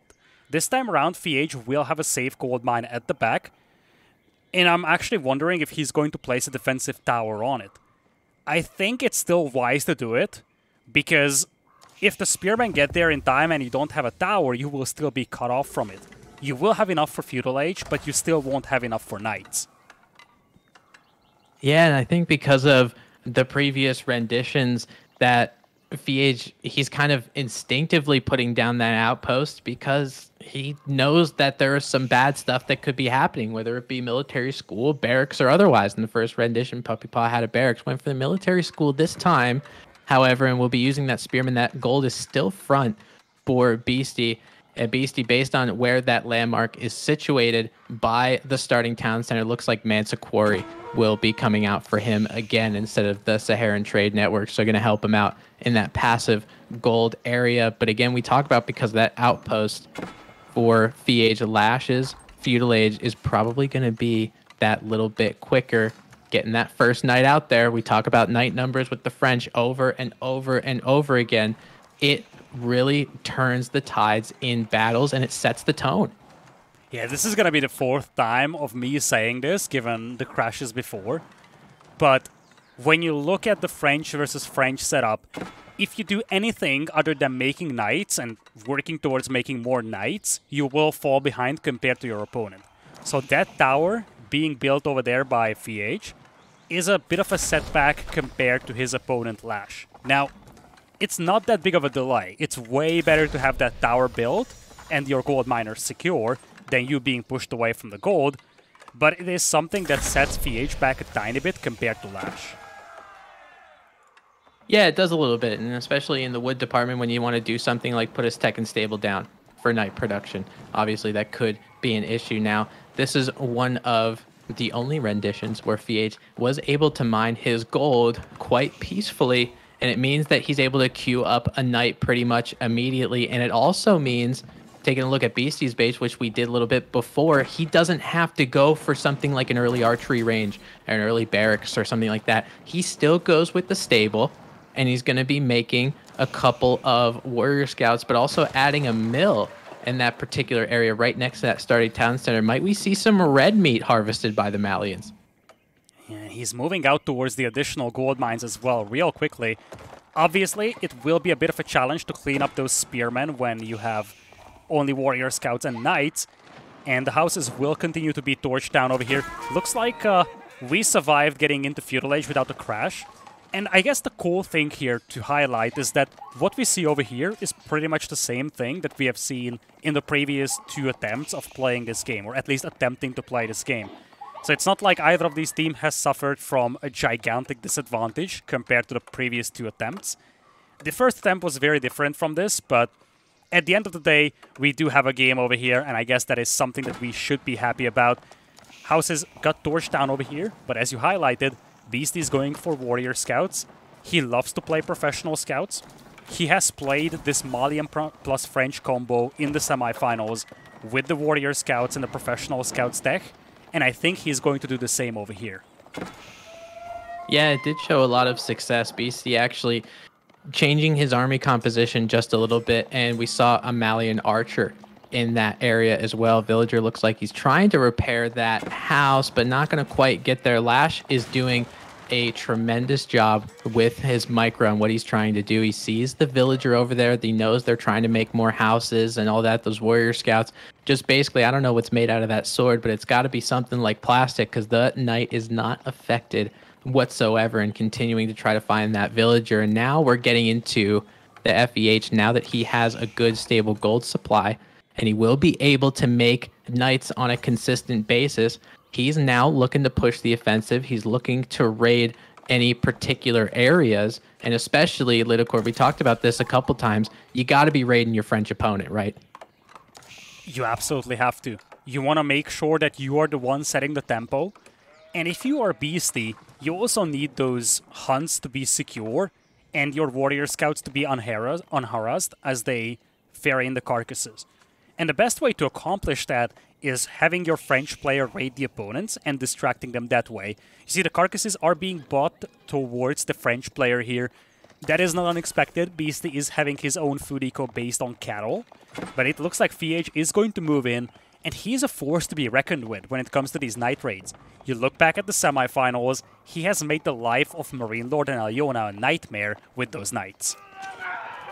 Oh my god, he absolutely has. But he does get those knights a little bit of harm's way just because of those spearmen. What's nice is those spearmen don't necessarily have a horse, so they're going to end up getting left in the dust. Puppy Paw going with a mix of a bunch of different units. You saw in his army composition, we have some spearmen here. There's an archer over there, Sipahi over there on the south side as well. He's going with a lot of different military buildings and just trying to hold his own. Lash on the other side, being the French player and the good French player that he is, looking for raids in particular areas, really trying to eye up that back gold, which again is so, so important. But there's another resource node up to the north of that. That Deer's pack over there, which has a couple of French villagers, could be very useful. Quite interesting for me that FeAge actually went to go get that area. There must have been a little bit of lapse in pro scouts, so he needed that food as soon as possible. But it makes those villagers, there's about four over there and about five on that gold mine, it makes them targets. Yeah, I feel like there's a bit of a disconnect between the strategies here. With the carcasses being brought into FeAge's base, villagers moving out to the hunt is a rather, I guess, aggressive choice. And now two knights go down here as well. Villagers once again becoming targets. You gotta be cautious not to lose knights. That applies to both of the French players over here. But that's a lot of idle time forced on FeAge. And again, one has to wonder if that is needed, that hunting operation given the fact that Beasty is providing his teammate with food. Yeah, and now I think that he has that stable source. Maybe he'll be able to go back behind his starting town center and make sure that he's not raidable. And what actually what Beasty's doing, as you could see on your screen, he's yoinking his teammates deer, but not necessarily for himself. He just wants to make them safe. So he's going to pull those deer and probably pull them back to FeAge's starting town center just to make sure that no other knight raids kind of happen. And now with Lash, he got a little bit of initiative with those Royal Knights. A lot of the battles have been being taken in the area of FeAge and in the area where these warrior scouts are, where they're going to get almost surrounded by some of those knights in Sipahi. But Lash is going to be going for a second town center at Lidakor. This is the first time we've seen Lash go for a second town center as the French. What do you think about the play? I have mixed feelings about this. Not because of the second TC, it's because of Beast's resources. You look at the top left, he's getting close to Castle Age. And we discussed this a lot. The potential for Puppy and Lash to stop Beasty is before Castle Age. If Beasty gets up to Castle Age, he gets archers with poison arrows, he's gonna have a tool to destroy everything that Puppy and Lash have. And you see, Beast is very close to Castle Age over here. I don't mind the second TC from Lash. I think it's a great way to pull ahead compared to FeAge. But we need to see a response to those Poison Arrow Archers from Puppy and Lash. And I think that is lacking right now. Yeah, I definitely agree with you. And we're going to see those Poison Archers happen very quickly. Beasty, you can take a look at the resources up on the top left part of your screen. Beasty with about 1,500 food now just has the gold and will be placing his landmark as soon as I finish this sentence. Puppy Paw also stockpiling resources a little bit by himself. Puppy Paw with 1100 food, 450 gold. Might we see a little bit of a faster castle for the Ottoman Empire more than usual? We were expecting a lot of feudal aggression. It seems as though they kind of pulled the carpet out from under us because those previous renditions did have a lot of feudal aggression. This one, not so much. This is a big discrepancy between how Puppy Paw plays the Ottomans and how Marine Lord played the Ottomans against Beasty's team in the semifinals. Marine Lord went up to 90 archers. He had the numbers advantage, but over time, Beasty's army quality just ground him down. Here, there's gonna be a big difference. Puppy Paw is gonna get to Castle Age, and Ottoman archers do trade very well against those Malian Poison Arrow archers. Malian archers are probably better as an all-purpose unit, but there's a key discrepancy here. Archers, Malian archers those are, they do not want to fight against a large amount of low-tier units, like the Ottoman archers. They want to fight against the premium units, the knights. If you add it up with the fact that the Ottomans unlock Janissaries in Castle Age, it's going to be a great tool to deal with the enemy cavalry, and you're starting to like the position of Puppy Paw and Lash more and more. Yeah, I remember you talked a lot about in our previous renditions about having the tool to get rid of the cavalry of the opposing side, and the Janissaries could have the ability to do that. We're seeing knights all over the place from our French counterparts. There's a lot of mobility. There's a reason why those knights are so good. Pound for pound, one of the best units that you can have. It looks like a couple horsemen in there from FeAge as well. Looking to try to get a charge, Lash does, but Beasty coming back with a little bit of reinforcements. His army composition comprised of mostly archers and some javelin throwers, but now that Beasty has the Farimba garrison, he will be able to get a decent amount of archers and or javelin throwers, whatever he necessarily decides to make. Lash doing a great job with this micro. I mean, he knows if he takes this fight, this is a losing battle for him. He loses knights, he loses the game. One of the things he's doing really well, Lidakor, he's turning around, he's getting the charge, and then going back home. And he needs to do that. He is retreating over here, getting pushed back by both Beasty and FeAge over here. And Puppy Paw is just trying to chase down all those raiding cavalry inside their base, something that did plague Marine Lord as well when they played the semifinals. Now the armies link up, and it looks like FeAge and Beasty will have to retreat, but that does not happen before they lose a couple of knights here. Yeah, a couple knights went down, couple horsemen as well. You can even see those gunpowder units over there on the south. Puppy Paw doing a good job trying to get some Janissaries, four total in that, and I would imagine more end up coming out. Just having a couple of them interspersed is really going to help you against the Royal Knights that the French players really, really want to do. And you can see FeAge having to go out pretty far to get some of those resource nodes, some outside Gaia resources. That big, large gold mine is over there on the eastern side, along with a boar. He did have the presence of mind to wall that area, but we talk about how rateable a French player is. Not only with Lash having that second town center that's pretty in front, but FeAge doing the same thing, exposing his villagers pretty far out there. Big, big, big fight coming out on here. Lash trying to get a charge on to FeAge's Royal Knights. Looks like they'll be able to scamper away. They're trying to break off just a couple of them. Couple Janissaries come out of the woodwork, what looks like, just because of that forest patch a little bit south. We'll be able to take some pot shots on some of those Knights. These Knights just looking for areas to raid, and you can see how well they dictate battles, Lidakor, just because of the Knights being there it shifts the entire army of Lash. So while his north side is exposed, he's getting villager kills, he's still trying to chase these knights to the ends of the earth. It's it's the one-two punch, right? You have to pursue this army. You might even clean this up, although that would be kind of problematic for FeAge. But this is a great distraction that allows Beasty to push up alone in the middle. Normally that's a scary thing to do when you have archers only, but he's got the poison arrow archers. If you send knights against it, Beasty can deal with it. If you send archers against it, Beasty's gonna be fine against that too. Now, looks like the Janissaries are increasing in numbers and they are repelling this.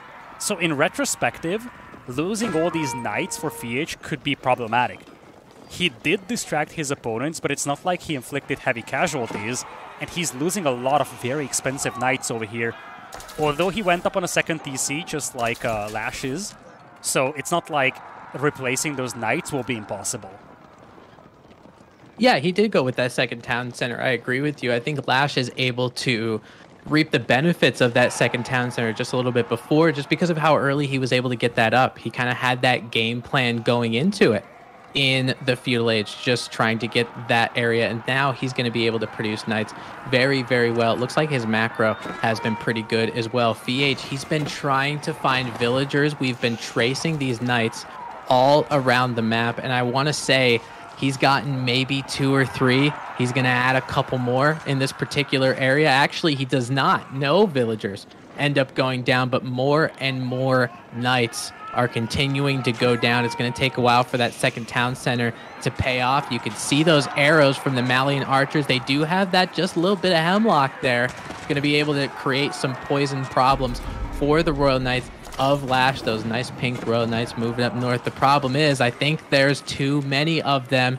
Going to make Beasty have to back up. Not only does he have the Knight superiority, he's got the Siege superiority. You're talking about units like archers. They go up, with those poison arrow archers, they go up well against Ottoman archers. They hold their own against Knights. Big mango shot here. It looks like about five or six archers end up going down. Now that mass is reduced significantly, those archers, they don't have an answer to a Mangonel. Not just the Mangonels, but also the Janissaries. That's the problem. You see this composition. As we discussed so many times, Beast's Poison Arrow Archers are good against almost everything. But they need support against Mangonels, as we do have Beasty moving out for keep over here. He needs to turn back, and indeed he will. But the problem that he's facing is that he's facing Mangonels, and as long as there are Janissaries for Puppy Paw, his teammate FeAge cannot snipe them. The Lancers cannot commit against the Mangonels because the Janissaries just make minced meat out of them. This is the combo that Lash and Puppy needed, and this is the combo that has been missing from MarineLorD and Aliona when they play the semifinals. Those Ottoman archers are just good enough to keep the archer numbers from Beasty low, and then the Mangonels, the Janissaries, and the Lancers, they do the rest. Yeah, you're exactly right. I think it's how quickly you're able to deal with the front line of your opponent having the amount of Janissaries that Puppy Paw has. They do a better job one for one against some of the cavalry units like the Malian Poison Arrows Dart, but there are a lot of arrows. Mangonel's trying to take shots at the cavalry units, not necessarily the archers, and a couple of them will get injured in the making of that, but it looks like just because Beasty got that keep up just in time, they're going to back up just a little bit and have a little bit of a ceasefire, maybe go back to the drawing board. If you're Beasty and FeAge right now, you know that you're on the back foot. You know that your composition might need to make some changes. What are you thinking about trying to change to try to figure out how to deal with this puppy paw and lash death ball? I think it starts with a defensive approach. First of all, there is Royal Institute for VH. He's going to get to Castle Age. Naturally, veterancy on the cavalry plus Royal Bloodlines could be a big factor. But I think a lot comes down to the fact that right now you do not see any heavy siege available for Puppy and Lash. They cannot commit against keeps. So what do you do? You play defensive, you play with stone walls, some defensive towers maybe, or keeps. That's the best option. And maybe play into the Malian trade.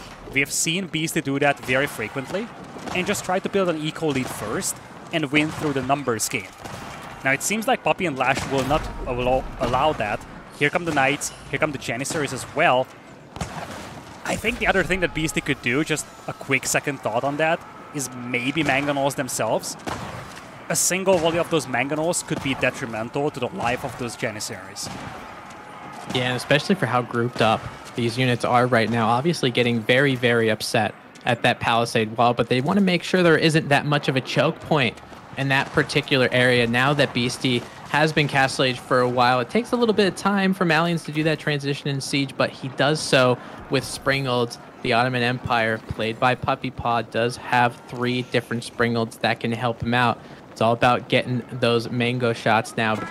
Age's Knights are of the veteran status. It looks like Lash's are as well. We're going to see that charge come in. Lash not paying attention onto this one. It makes sure that charge on the Royal Knights for VH goes on the ranged mass for the Ottomans. The Springalds for Beasty do get rid of one Mangonel, but it doesn't get rid of the second one. Will continue to rain down good stagger formation out of Beasty, making sure it doesn't get too much in the way of damage.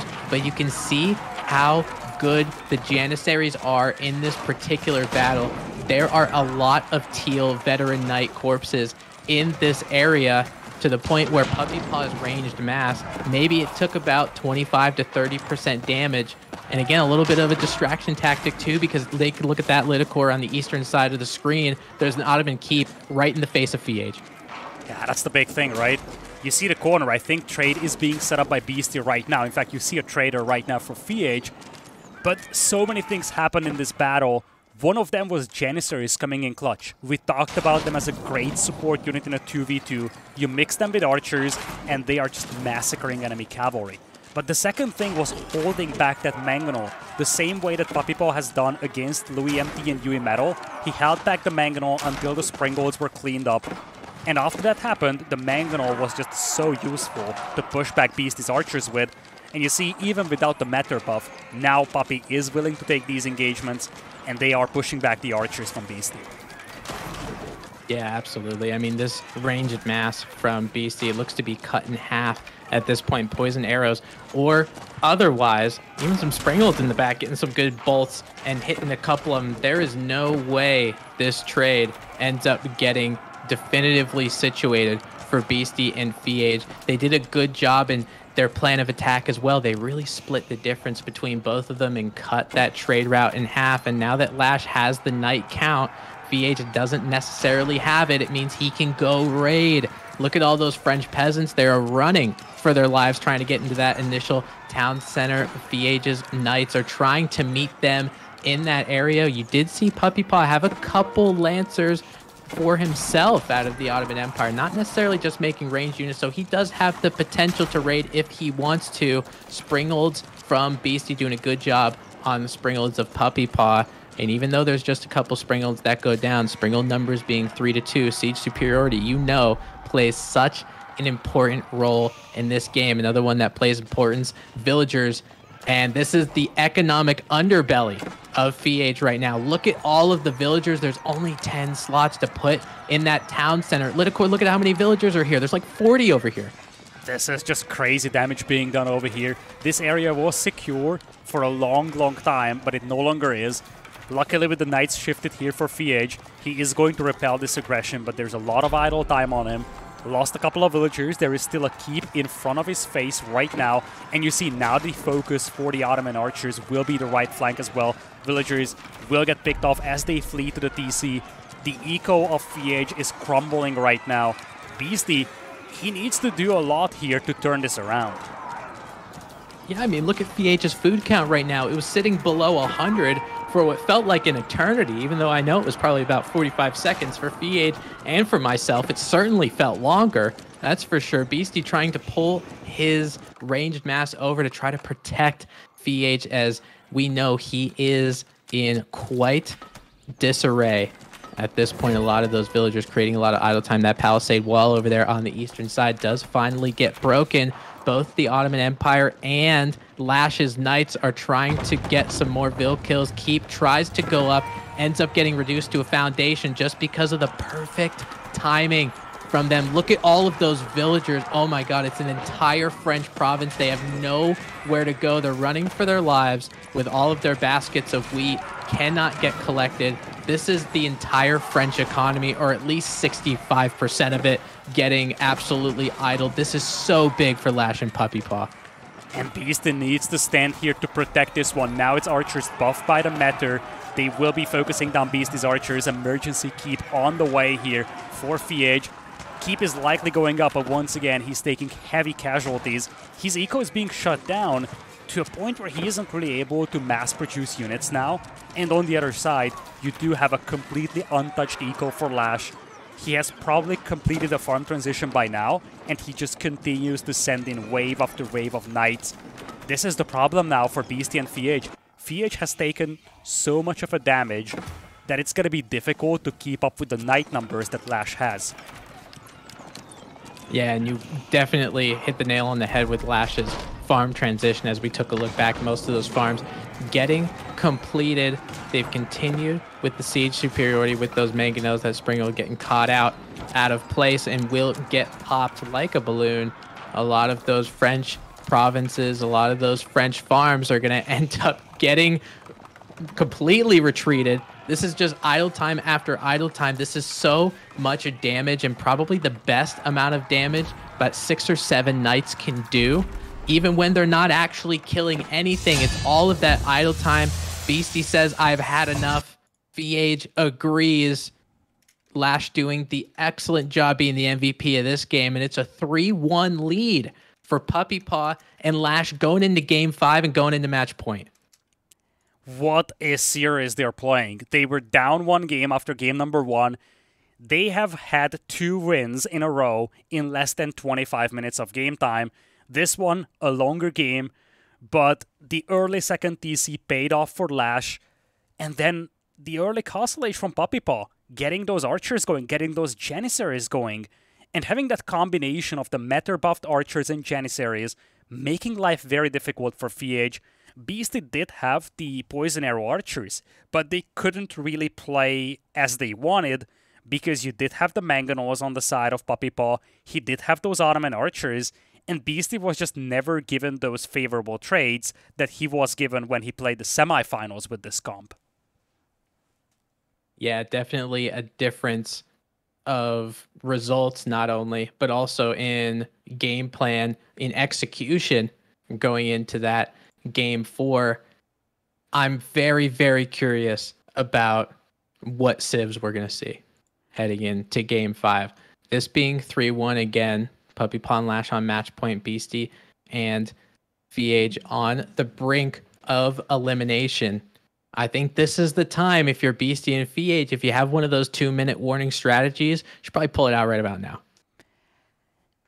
I have a wild card call here. I think. Oh, Beastie, hit me with it. I love it. Beasty and FeAge, I think, might go mountain clearing. That's a map that they love to play. The thing is that if they want to turn this series around, they will have to take two wins on the opponent's home maps at this point for them, it does not matter whether they lose 4 1 or if it's a 4 3 loss. So, might as well go for Mountain Clearing, which is always a wildcard map, and it's a map that they also feel confident on. And that, if they win it, assuming that they win it, that would be a 3 2 standing for Puppy and Lash. Then it's still Cauldron, then it's still Dry River, but you would keep one of your own home maps for a future time. They could opt to go for Dry River as well, but I feel like if they do that, even if they win, they will have to play against their opponents on two opposing home maps for the remaining two games. That feels a little problematic to me. Yeah, no, that could definitely be problematic. And I like your idea about mountain clearing and one of the reasons why, especially for well, actually both of these teams, but for Beasty and FeAge, if they want to pick it, they still have some of the best civilizations that mountain clearing has when it comes to Civ picks, right? They've only used English once. They've only used HRE once. So they have the ability to do that again. Puppy Paw and Lash also have that ability with English being played by Puppy Paw and Lash in game three and HRE being in game two. So they do have that potential and that can gear up to be a real powerhouse of combinations with English and HRE now on mountain clearing besides those two civs what kind of civs if you're looking to play something different and you're looking to be a little spicy what civ are you going to dip your toe into? I i think hre has to be a lock on both sides mm-hmm. and i have a feeling that it's going to be english but i'm wrong it's going to be double mongols so here's the idea first of all i guess i was right about the assumption that they will take mountain clearing but the bigger thing here is that we've seen how Beasty and FeAge love to play into the early boar play. We have seen some other teams do that, but I do not recall Puppy and Lash going for it. Now, when you play into the early boar with the HRE, you want to have a teammate that's capable of setting you up for that. That is oftentimes an English player with the man at arms or even the villagers with the bows. But Mongols can accomplish the same as well, either with spears or even horsemen possibly. So I expect to see a lot of combat going on for that middle part of the map and just trying to deny each other's access to that boar in the middle. Yeah, and I mean, we talked about even yesterday for some of the games that we had on Mountain Clearing where HRE was involved. That boar is a really, really good resource of food. Obviously, the prelate's going to help you. It's going to give you that little bit of increase in gathering speed but when you do have that prelate out there, and obviously it's advantageous, you got to be thinking about also instead of playing checkers, let's play chess for a second here. With that prelate all the way out there on the board, kind of inspiring those villagers, it means it's not back home. And when it means it's not back home, is not only can the Mongols do maybe some raid ability without a prelate being able to heal, but it also means if you get that Aachen Chapel up you either have to make a second prelate to go in there, or that prelate's got to walk all the way back to get his megaphone and get in that chapel. Now, of course, needless to say, this is a map where Beasty is going to be the one playing the HRE. It's his favorite civilization. And this is probably the map that he. I don't know if this is the map where he enjoys playing it the most, but it's definitely one of those maps where his HRE playstyle and how good he is with this civilization shows the best. The way that he uses emergency repairs, the map control elements, the way that he uses fast Imperial, either for just booming up when the game is in a passive state, or possibly to get to Imperial, get the bombards out to contest the middle. All these factors just make him a very good player on this map, especially with this civilization. Now, I haven't really seen a lot of Puppy and Lash games on this map, but this is a mirror matchup. I think it's the first mirror that we are having today, right? Um, no, actually, well, game number two, I believe, was Rus and HRE combined, right? True. Was that the mirror? True. I got okay. goldfish memory. It is true, indeed. but they lost that mirror, so mm-hmm. history speaks against them. It's going to be interesting to see how the teams approach this game, though, because oftentimes we see teams going for this all out ish or all in ish approach towards the middle. Compared to 1v1s, you do have two sacred sites here, but they're close to each other. And oftentimes it works well when you just kind of have one player going to that strong position in Imperial, get some keeps up in the middle, and then play into Culverines, and the other player just assisting and facilitating the teammate to do it. Those strategies seem to have prevailed in previous rounds compared to strategies where both players are trying to contribute equally. Yeah, definitely. You're kind of you're you're indirectly, not necessarily by resources, but you're slinging the HRE player that you're playing that you're playing with, right? And we have seen in mountain clearing, whether it be the semifinals, quarterfinals, other stages of this tournament, where there have been some insane Palace of Swabia times when you're actually getting to Imperial. If you have your teammate as a civilization, they're okay to hang out in feudal. You know, they're not going to do things like a fast castle. They're going to try to establish some kind of military presence around. Just keep everybody off your back. And we have seen some Palace of Swabia times almost, you know, below 12 minutes to try to get a Swabia. And I think that's that golden ticket, just like you said, that's the golden ticket for mountain clearing. Because I don't know about you, when you've seen a lot of mountain clearing games, or even if you've played on any, it feels like this map just plays like King of the Hill in a way, it does. I feel like it's even more all-in-ish than King of the Hill. It's a little bit mm-hmm. more difficult to play into the walls. You really need those keeps in the middle. But once you have it up, it can be a realistic goal for you to take the sacred sites and try to win through the sacred site victory condition. So you can definitely have these all-in style approaches. And I think at least one of these two teams will attempt to do that. Obviously, one of the big differences between the two teams will be how the Mongol players can possibly slow down the opposing team's HRE player. The same way that we have seen in the previous two games, how the supporting player has to slow down the opposing French player to give an advantage to his own French player. I expect to see a similar mindset over here in this game. How can the Mongol players support their own HRE by slowing down the opposing HRE? Yeah, that's the best way to do it, right? Because then the Mongolian on the other side has to protect their own HRE instead of going against the HRE that they're supposed to be raiding against too. So we're talking about how it's very HRE centric, but it could be just because the Mongolians are the enzyme that really catalyzes the reaction. Maybe it's the Mongolians that are the most important. And we're going to see how important they are as game five is going to be coming up. We're initiating the overlay Match point for Puppy and Puppy Paw and Lash on Mountain Clearing. Let's go. We will be jumping into game number four here in a matter of moments. It is match point for Puppy and Lash. Most of the sets that they have played in this tournament, they have been awfully close.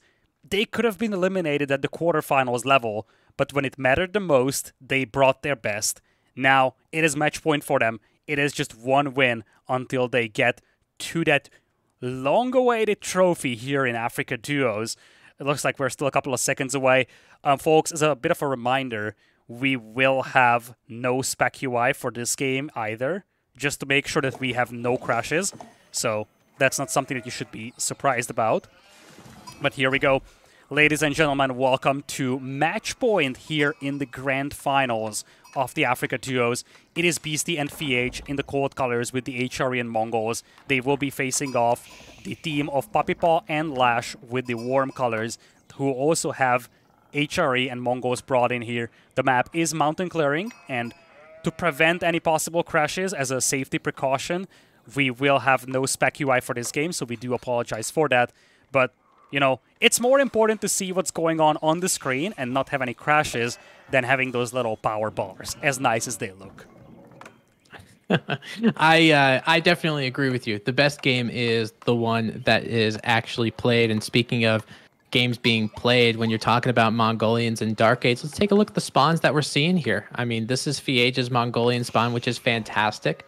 Puppy Paw's Mongolian spawn. He's got the Uva right next to him, but has to go a little bit farther for the gold, and as we all know, for the Mongolians, when we're talking about spawns, they're probably susceptible to the most when it comes to RNG of where spawns are actually developing. FeAge getting a little feisty in this game five, going to be adding the barracks about a minute and 20 seconds in. And you got to be thinking, Lidakor, just because of the distance between these civilizations, you gotta you gotta get aggressive with it. You have to. Um, we talked about this in the pregame. In this map, a lot comes down to how the Mongol player can slow down the opposing team's HRE player. How the Mongol player's early aggression is setting up the teammate for mid to late game success. Yeah, and with that little bit of aggression from those spearmen, maybe we can see some success translate over just a little bit. And obviously, those spearmen from the Mongolians going to be able to be produced two at a time popping out now with these Mongolian players. Also, Puppy Paw doing some good synergy with Lash. Lash being the HRE player, he's very dependent on getting safe resources, getting them close to that Aachen Chapel, and making sure he can continue to age up. So he's using his Khan, going to be able to kite those deer over to that starting town center and get under that influence of the Aachen Chapel when it gets completed. We talked about the HRE being such a staple in mountain clearing. And this is one of the reasons why. Look how glorious that Aachen Chapel is. It's hitting all four resources there. It is. It's such a vital element of playing HRE on a closed map like this. The other element that you will see once we get to a later stage is how the HRE will use emergency repairs to hold critical points of the map. Obviously, that's not something that we have just now, but as this game goes deeper and deeper, we will have that as a feature. You see, we have two sacred sites in the middle. It is a very much a realistic win condition for either of these teams to play an all-in-ish style approach, securing the sacred sites and then just playing very defensive. We have seen instances of that in the previous rounds. Fast Imperial, multiple keeps, cover in defense. It has worked before. It remains to be seen if either of these teams will consider that a realistic win condition for the grand finals here. Yeah, and especially on match point, you got to be thinking if you're Puppy Paw and Lash, you have a couple games to give up. Necessarily, they do want to win this game five, but they don't necessarily need that all in or nothing strategy. I think Beasty and FeAge might have more of an influence to do that, we're taking a look at landmarks from the Mongolians getting completed deer stones, actually, for Puppy Paw getting completed FeAge. What it looks like is doesn't necessarily have the gold yet in order to make that, but Aachen Chapel completed by Lash. You can see that influence. It's such a wonderful influence. Beasty with his, of course, hitting all four resources as well. And Beasty already has 500 food stockpiled. Getting to Castle Age first when you're the Holy Roman Empire is so huge. Especially when you get baited by the income per minute out there. That's, folks, the income per minute. Costers Rough. sometimes do get baited as well. but it wouldn't be surprising just to see a race to Castle Age from the HRE players. And, well, I guess you weren't very off, and this is a huge thing for Beasty. He's sitting at 700 per or 700 food banked compared to Lash sitting at 200. That is a crystal clean build by Beasty. He's known for playing very effectively with the HRE. And a faster Castle Age over here can quickly snowball. you see the amount of relics that are available for the players. Beasty can quickly turn a Regnitz Cathedral into a gigantic eco lead. Even just 30 seconds advantage into Castle Age can actually be a game changer here. Oh, absolutely. I mean, it's 30 more seconds that you get relics in your Regnitz. It's 30 more seconds. If you had the anticipation to make things like a Castle Age economy, if the HRE chooses to do that, you can get that out a little bit quicker, which is quite interesting just based on the resource stockpile and vodka showing us that Lash has about 700 food now. Whereas if you take a look at the minimap, looking at Beasty's side, he's already put down his Castle Age landmark, and that does not look like the Regnitz Cathedral, Lidakor. That looks like a Burgrave Palace. Now, that's an interesting call, but I'm not against it. The thing with the Burgrave Palace is that you need a very consistent supply of food to be able to maintain production. But especially when you beat your opponent to Castle Age like this, you don't need much. You just need a couple of men-at-arms out, and that can already set you up for success. Spearmen will trade against each other over here, but FeAge is the one securing ground, and response from Lash will be his own Burgrave Palace. Neither of the HRE players going for the Regnitz Cathedral, despite the fact that throughout this tournament, the Regnitz Cathedral has been the dominant landmark of choice for the HRE players on this map. Yeah, especially for how quick you can get up that castle time and how quick you can get that Regnitz up. But we will be having a double cheeseburger on this one. Two burger palaces going to be coming up. Spearmen trying to create some sort of aggressiveness by the Mongols of either side. It looks like uh, the Spearman from Puppy Paw is going to end up going down, and Puppy Paw actually having to try to help Lash a little bit more, adding archers in as well. Now, Beasty going to be the first one to cast late at 6 minutes 54 seconds, getting those men at arms very, very quickly. These are early men at arms, and we'll be getting that castle upgrade very soon. But just because BC is the first one to do that as Lash's just gets completed, I feel like Lash is always going to be on the back foot. And it's always, all of these battles are always going to happen in his base, wouldn't you think? Yeah, that's the thing, right? even just 30 seconds of an advantage into Castle Age means that you have a couple of men-at-arms out.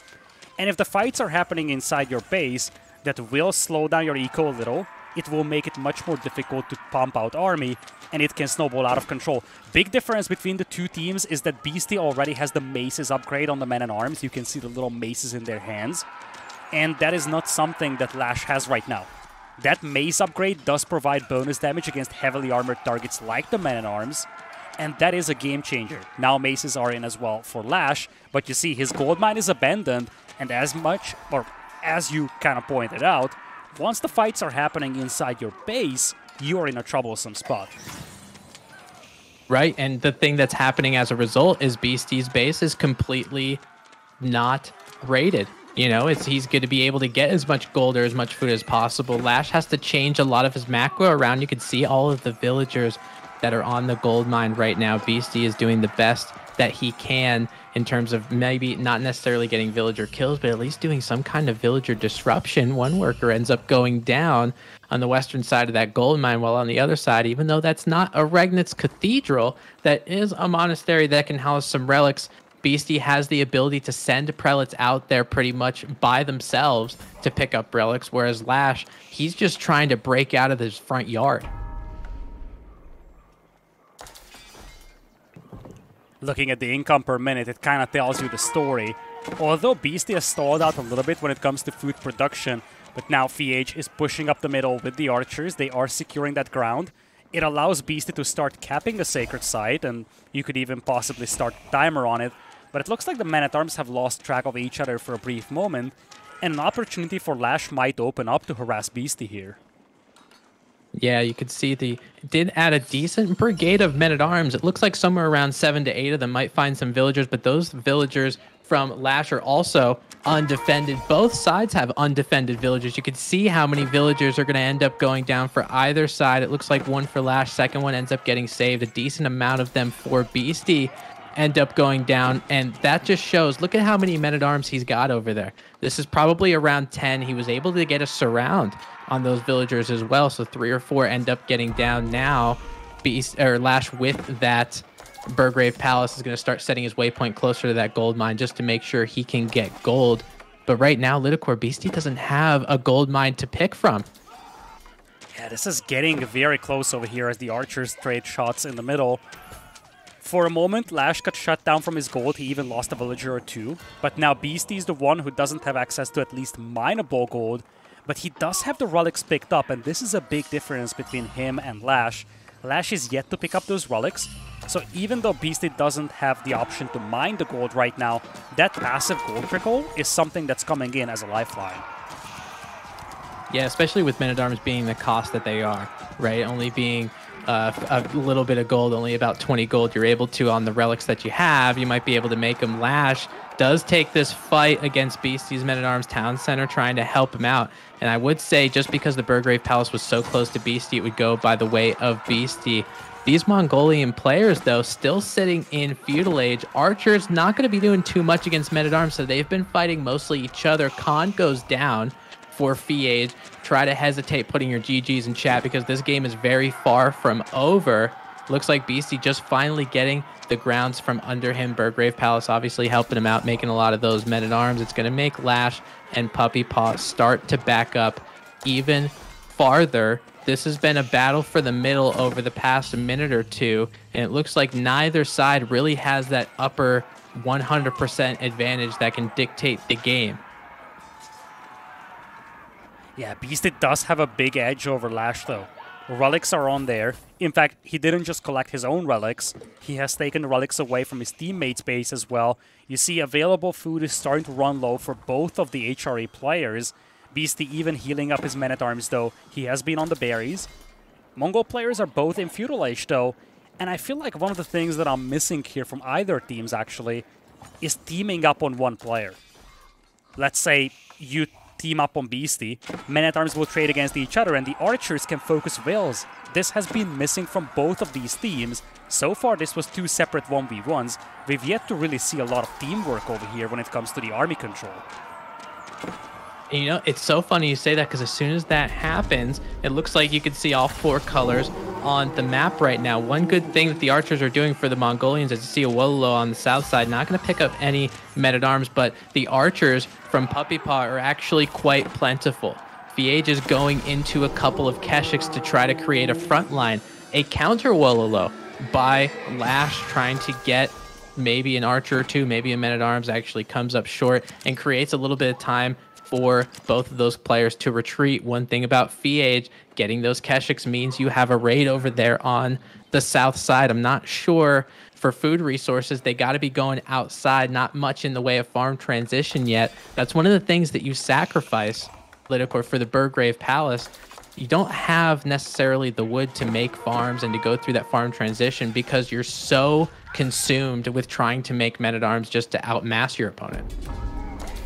Yeah, men-at-arms here missing an opportunity to jump on the lumberjacks. They have just attacked the Aachen Chapel, means that the villagers will be safe. As you said, Keshik are slowly being added over here by FeAge. On the other side, Puppy Paw remains with archers only. And for a brief moment, we could even see Lash stealing a relic from the other side of the map. This is a good fight in the middle of the field, though. Beasty's men-at-arms are nowhere to be found, and the archers combined with the men-at-arms do repel the army of FeAge. Yeah, that was a pretty particular 2v1 in that situation. Beasty's men at arms were sent back home and they continue to stay there. They haven't made a lot of headway in terms of movement outside of the base. And you can see Puppy Paw also and Lash's team with those prelates starting to get some of those sacred sites, starting to get some more passive income. And now, this is the very, very important thing about King of the Hill we're going to start that sacred site timer. Don't know if it's necessarily going to be game ending, but putting your opponent on a timer seems like a good idea. And now Lash and Puppy Paw putting those armies, it looks like they were trying to initially put those armies together you, I agree with you, Lidakor. Having some men at arms, even just splitting off a couple of them, I seem would be a good idea against these feudal age archer army compositions out of the Mongolians. And it looks like we're going to be seeing that with Lash and Puppy Paw. We have those pink men at arms and those red archers from Puppy Paw. They're trying to stay together. They're trying to make sure that none of those army compositions end up getting lost so dastardly. And they're doing a good job of splitting up the other team. They have been poking around the food eco as well, and you see why. They are trying to cut down the opponent when it comes to the food eco while also having a boar hunting operation in the middle. This is why they are standing and fighting. They need to hold this ground, and you see there are prelates on the back line helping out, healing, getting the blessing going on on the teammates as well. There's a defensive tower as well, but the men-at-arms, they're slowly disappearing over here from Lash. He needs some reinforcements over here. He does not want to lose this boar. No, absolutely not. And that boar is so good for food economy. That range mass from Puppy Paw pretty much untouched throughout the duration. A couple Keshiks tried to get a flank over there on the eastern side. Surprisingly enough, these men-at-arms seem to be trading themselves away.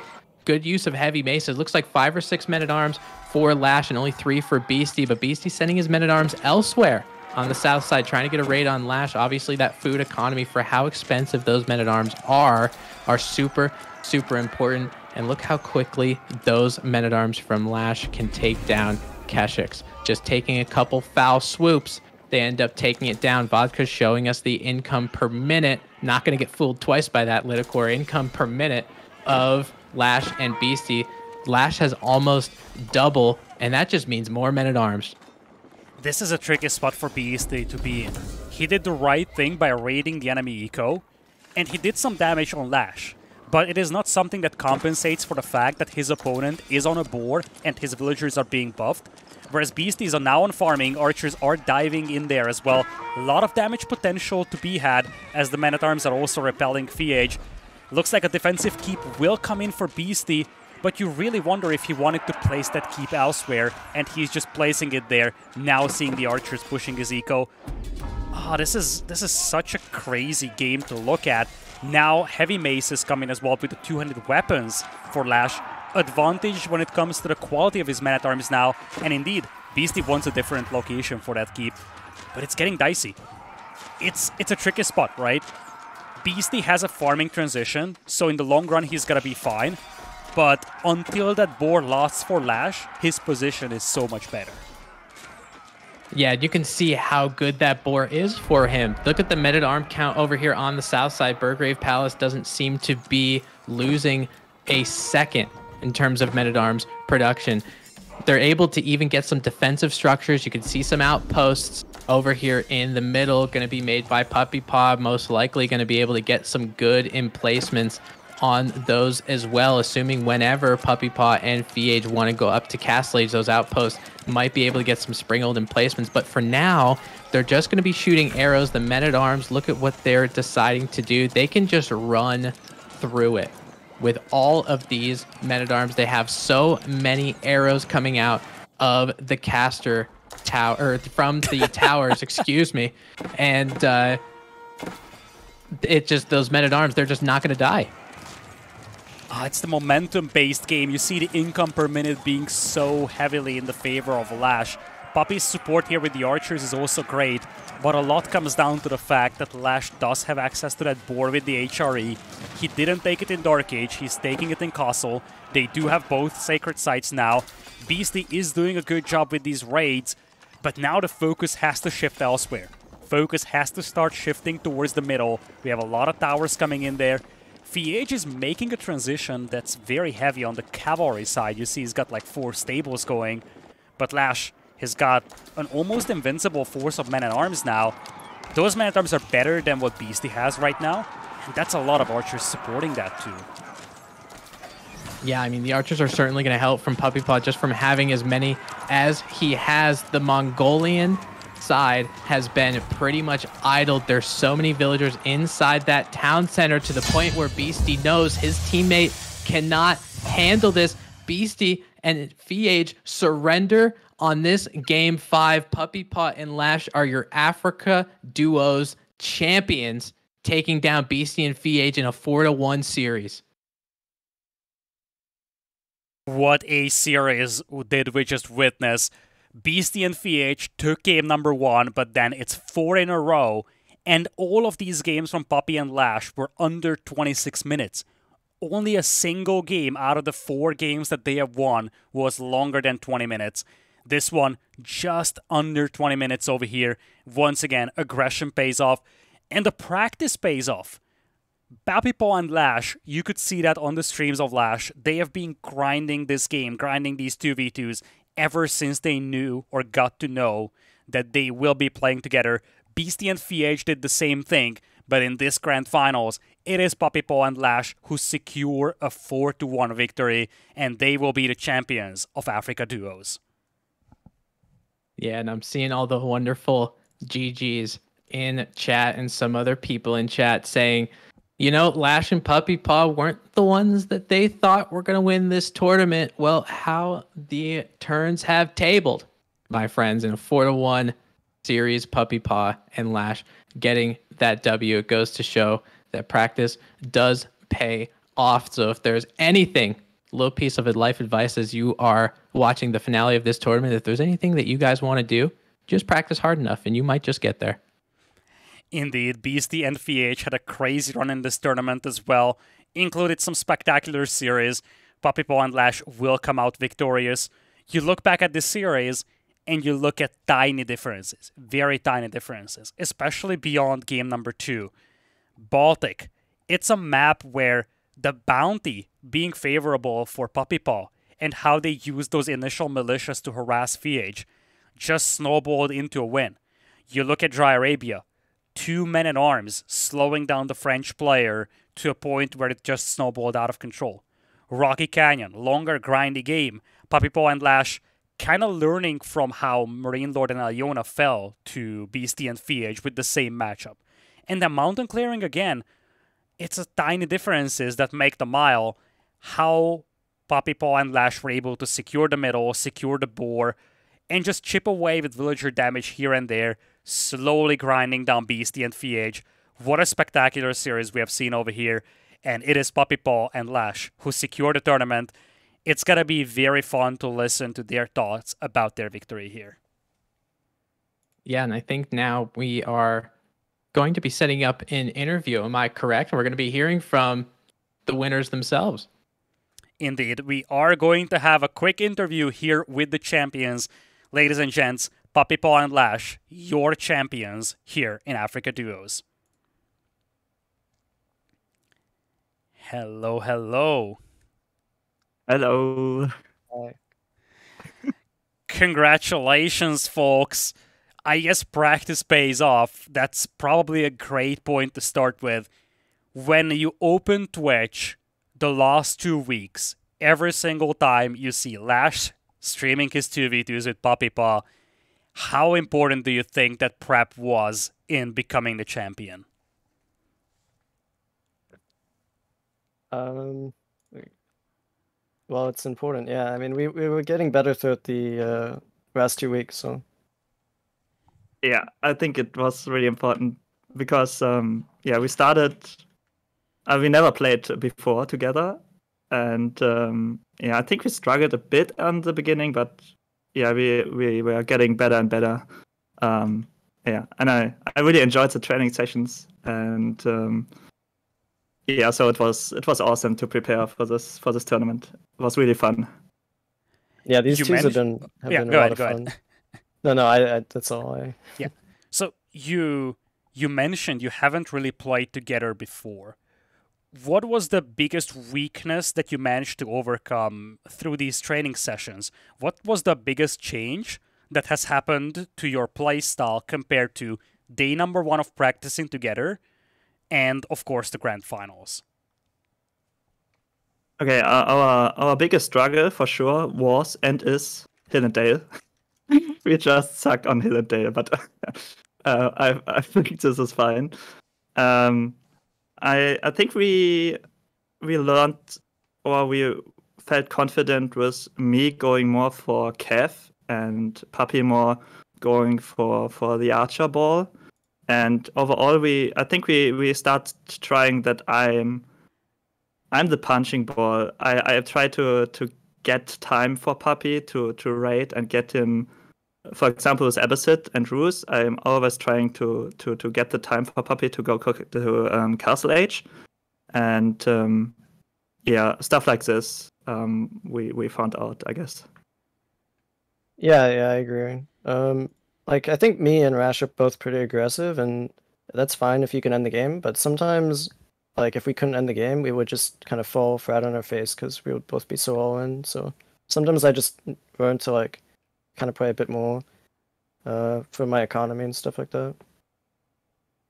Well, first of all, Puppy Paw and Lash, I want to say congratulations. And I'm very glad that you guys ended up winning this tournament and taking a 4 1. I do have a couple questions for you, though. You guys talked about aggressiveness a little bit and how important aggressiveness is and how important closing the game out quickly. Could you do me a favor? Take me to through game three a little bit because that was the one on Dry Arabia where Beasty and FeAge went for French and Malians. You guys went with more of an English puppy paw with the Vanguard bed at arms. Did you have an idea that they were going to go something like French and Malian? And was that kind of your strategy if you saw that?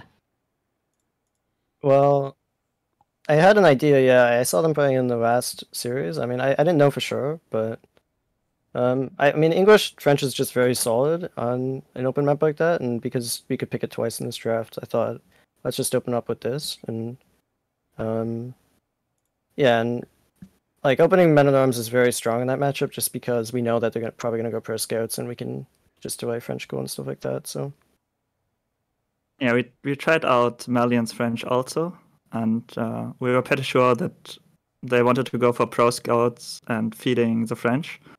And yeah, we we just tried to to interrupt that that and yeah, I, I agree. I think French English is like you, you can't do something wrong with this uh, with this Civ pick. English French is just solid. Yeah, it certainly is solid. And then after that game three, when you guys went into game four with Rocky Canyon, you guys went with Ottoman and French. And I know obviously we had some technical difficulties in there, but did you feel like with the Ottomans you were able to put the same amount of pressure like the English in game three? Was it kind of just a do over of the same strat? well, Oh. for me, sorry. Uh, Uh, you can answer. Okay. Uh, I mean, it, I I attempted to. Yeah. I mean, the third game they had a super bad spawn, right? Like, the French had so much trouble getting the gold, so we could end the game very quick in that one. Especially because English is a bit quicker. But, um, yeah, my idea was essentially the same, just to kind of put some pressure on the French player, slow them down a bit. But, um, I kind of realized in that game I couldn't end the game, so I had to kind of go into siege and defend a bit more, and play from there. Yeah, and we thought about going for English French again, but um, yeah, then we were thinking about it, and we wanted to keep English maybe for another map. So we were thinking, okay, Ottoman's French is really good as well.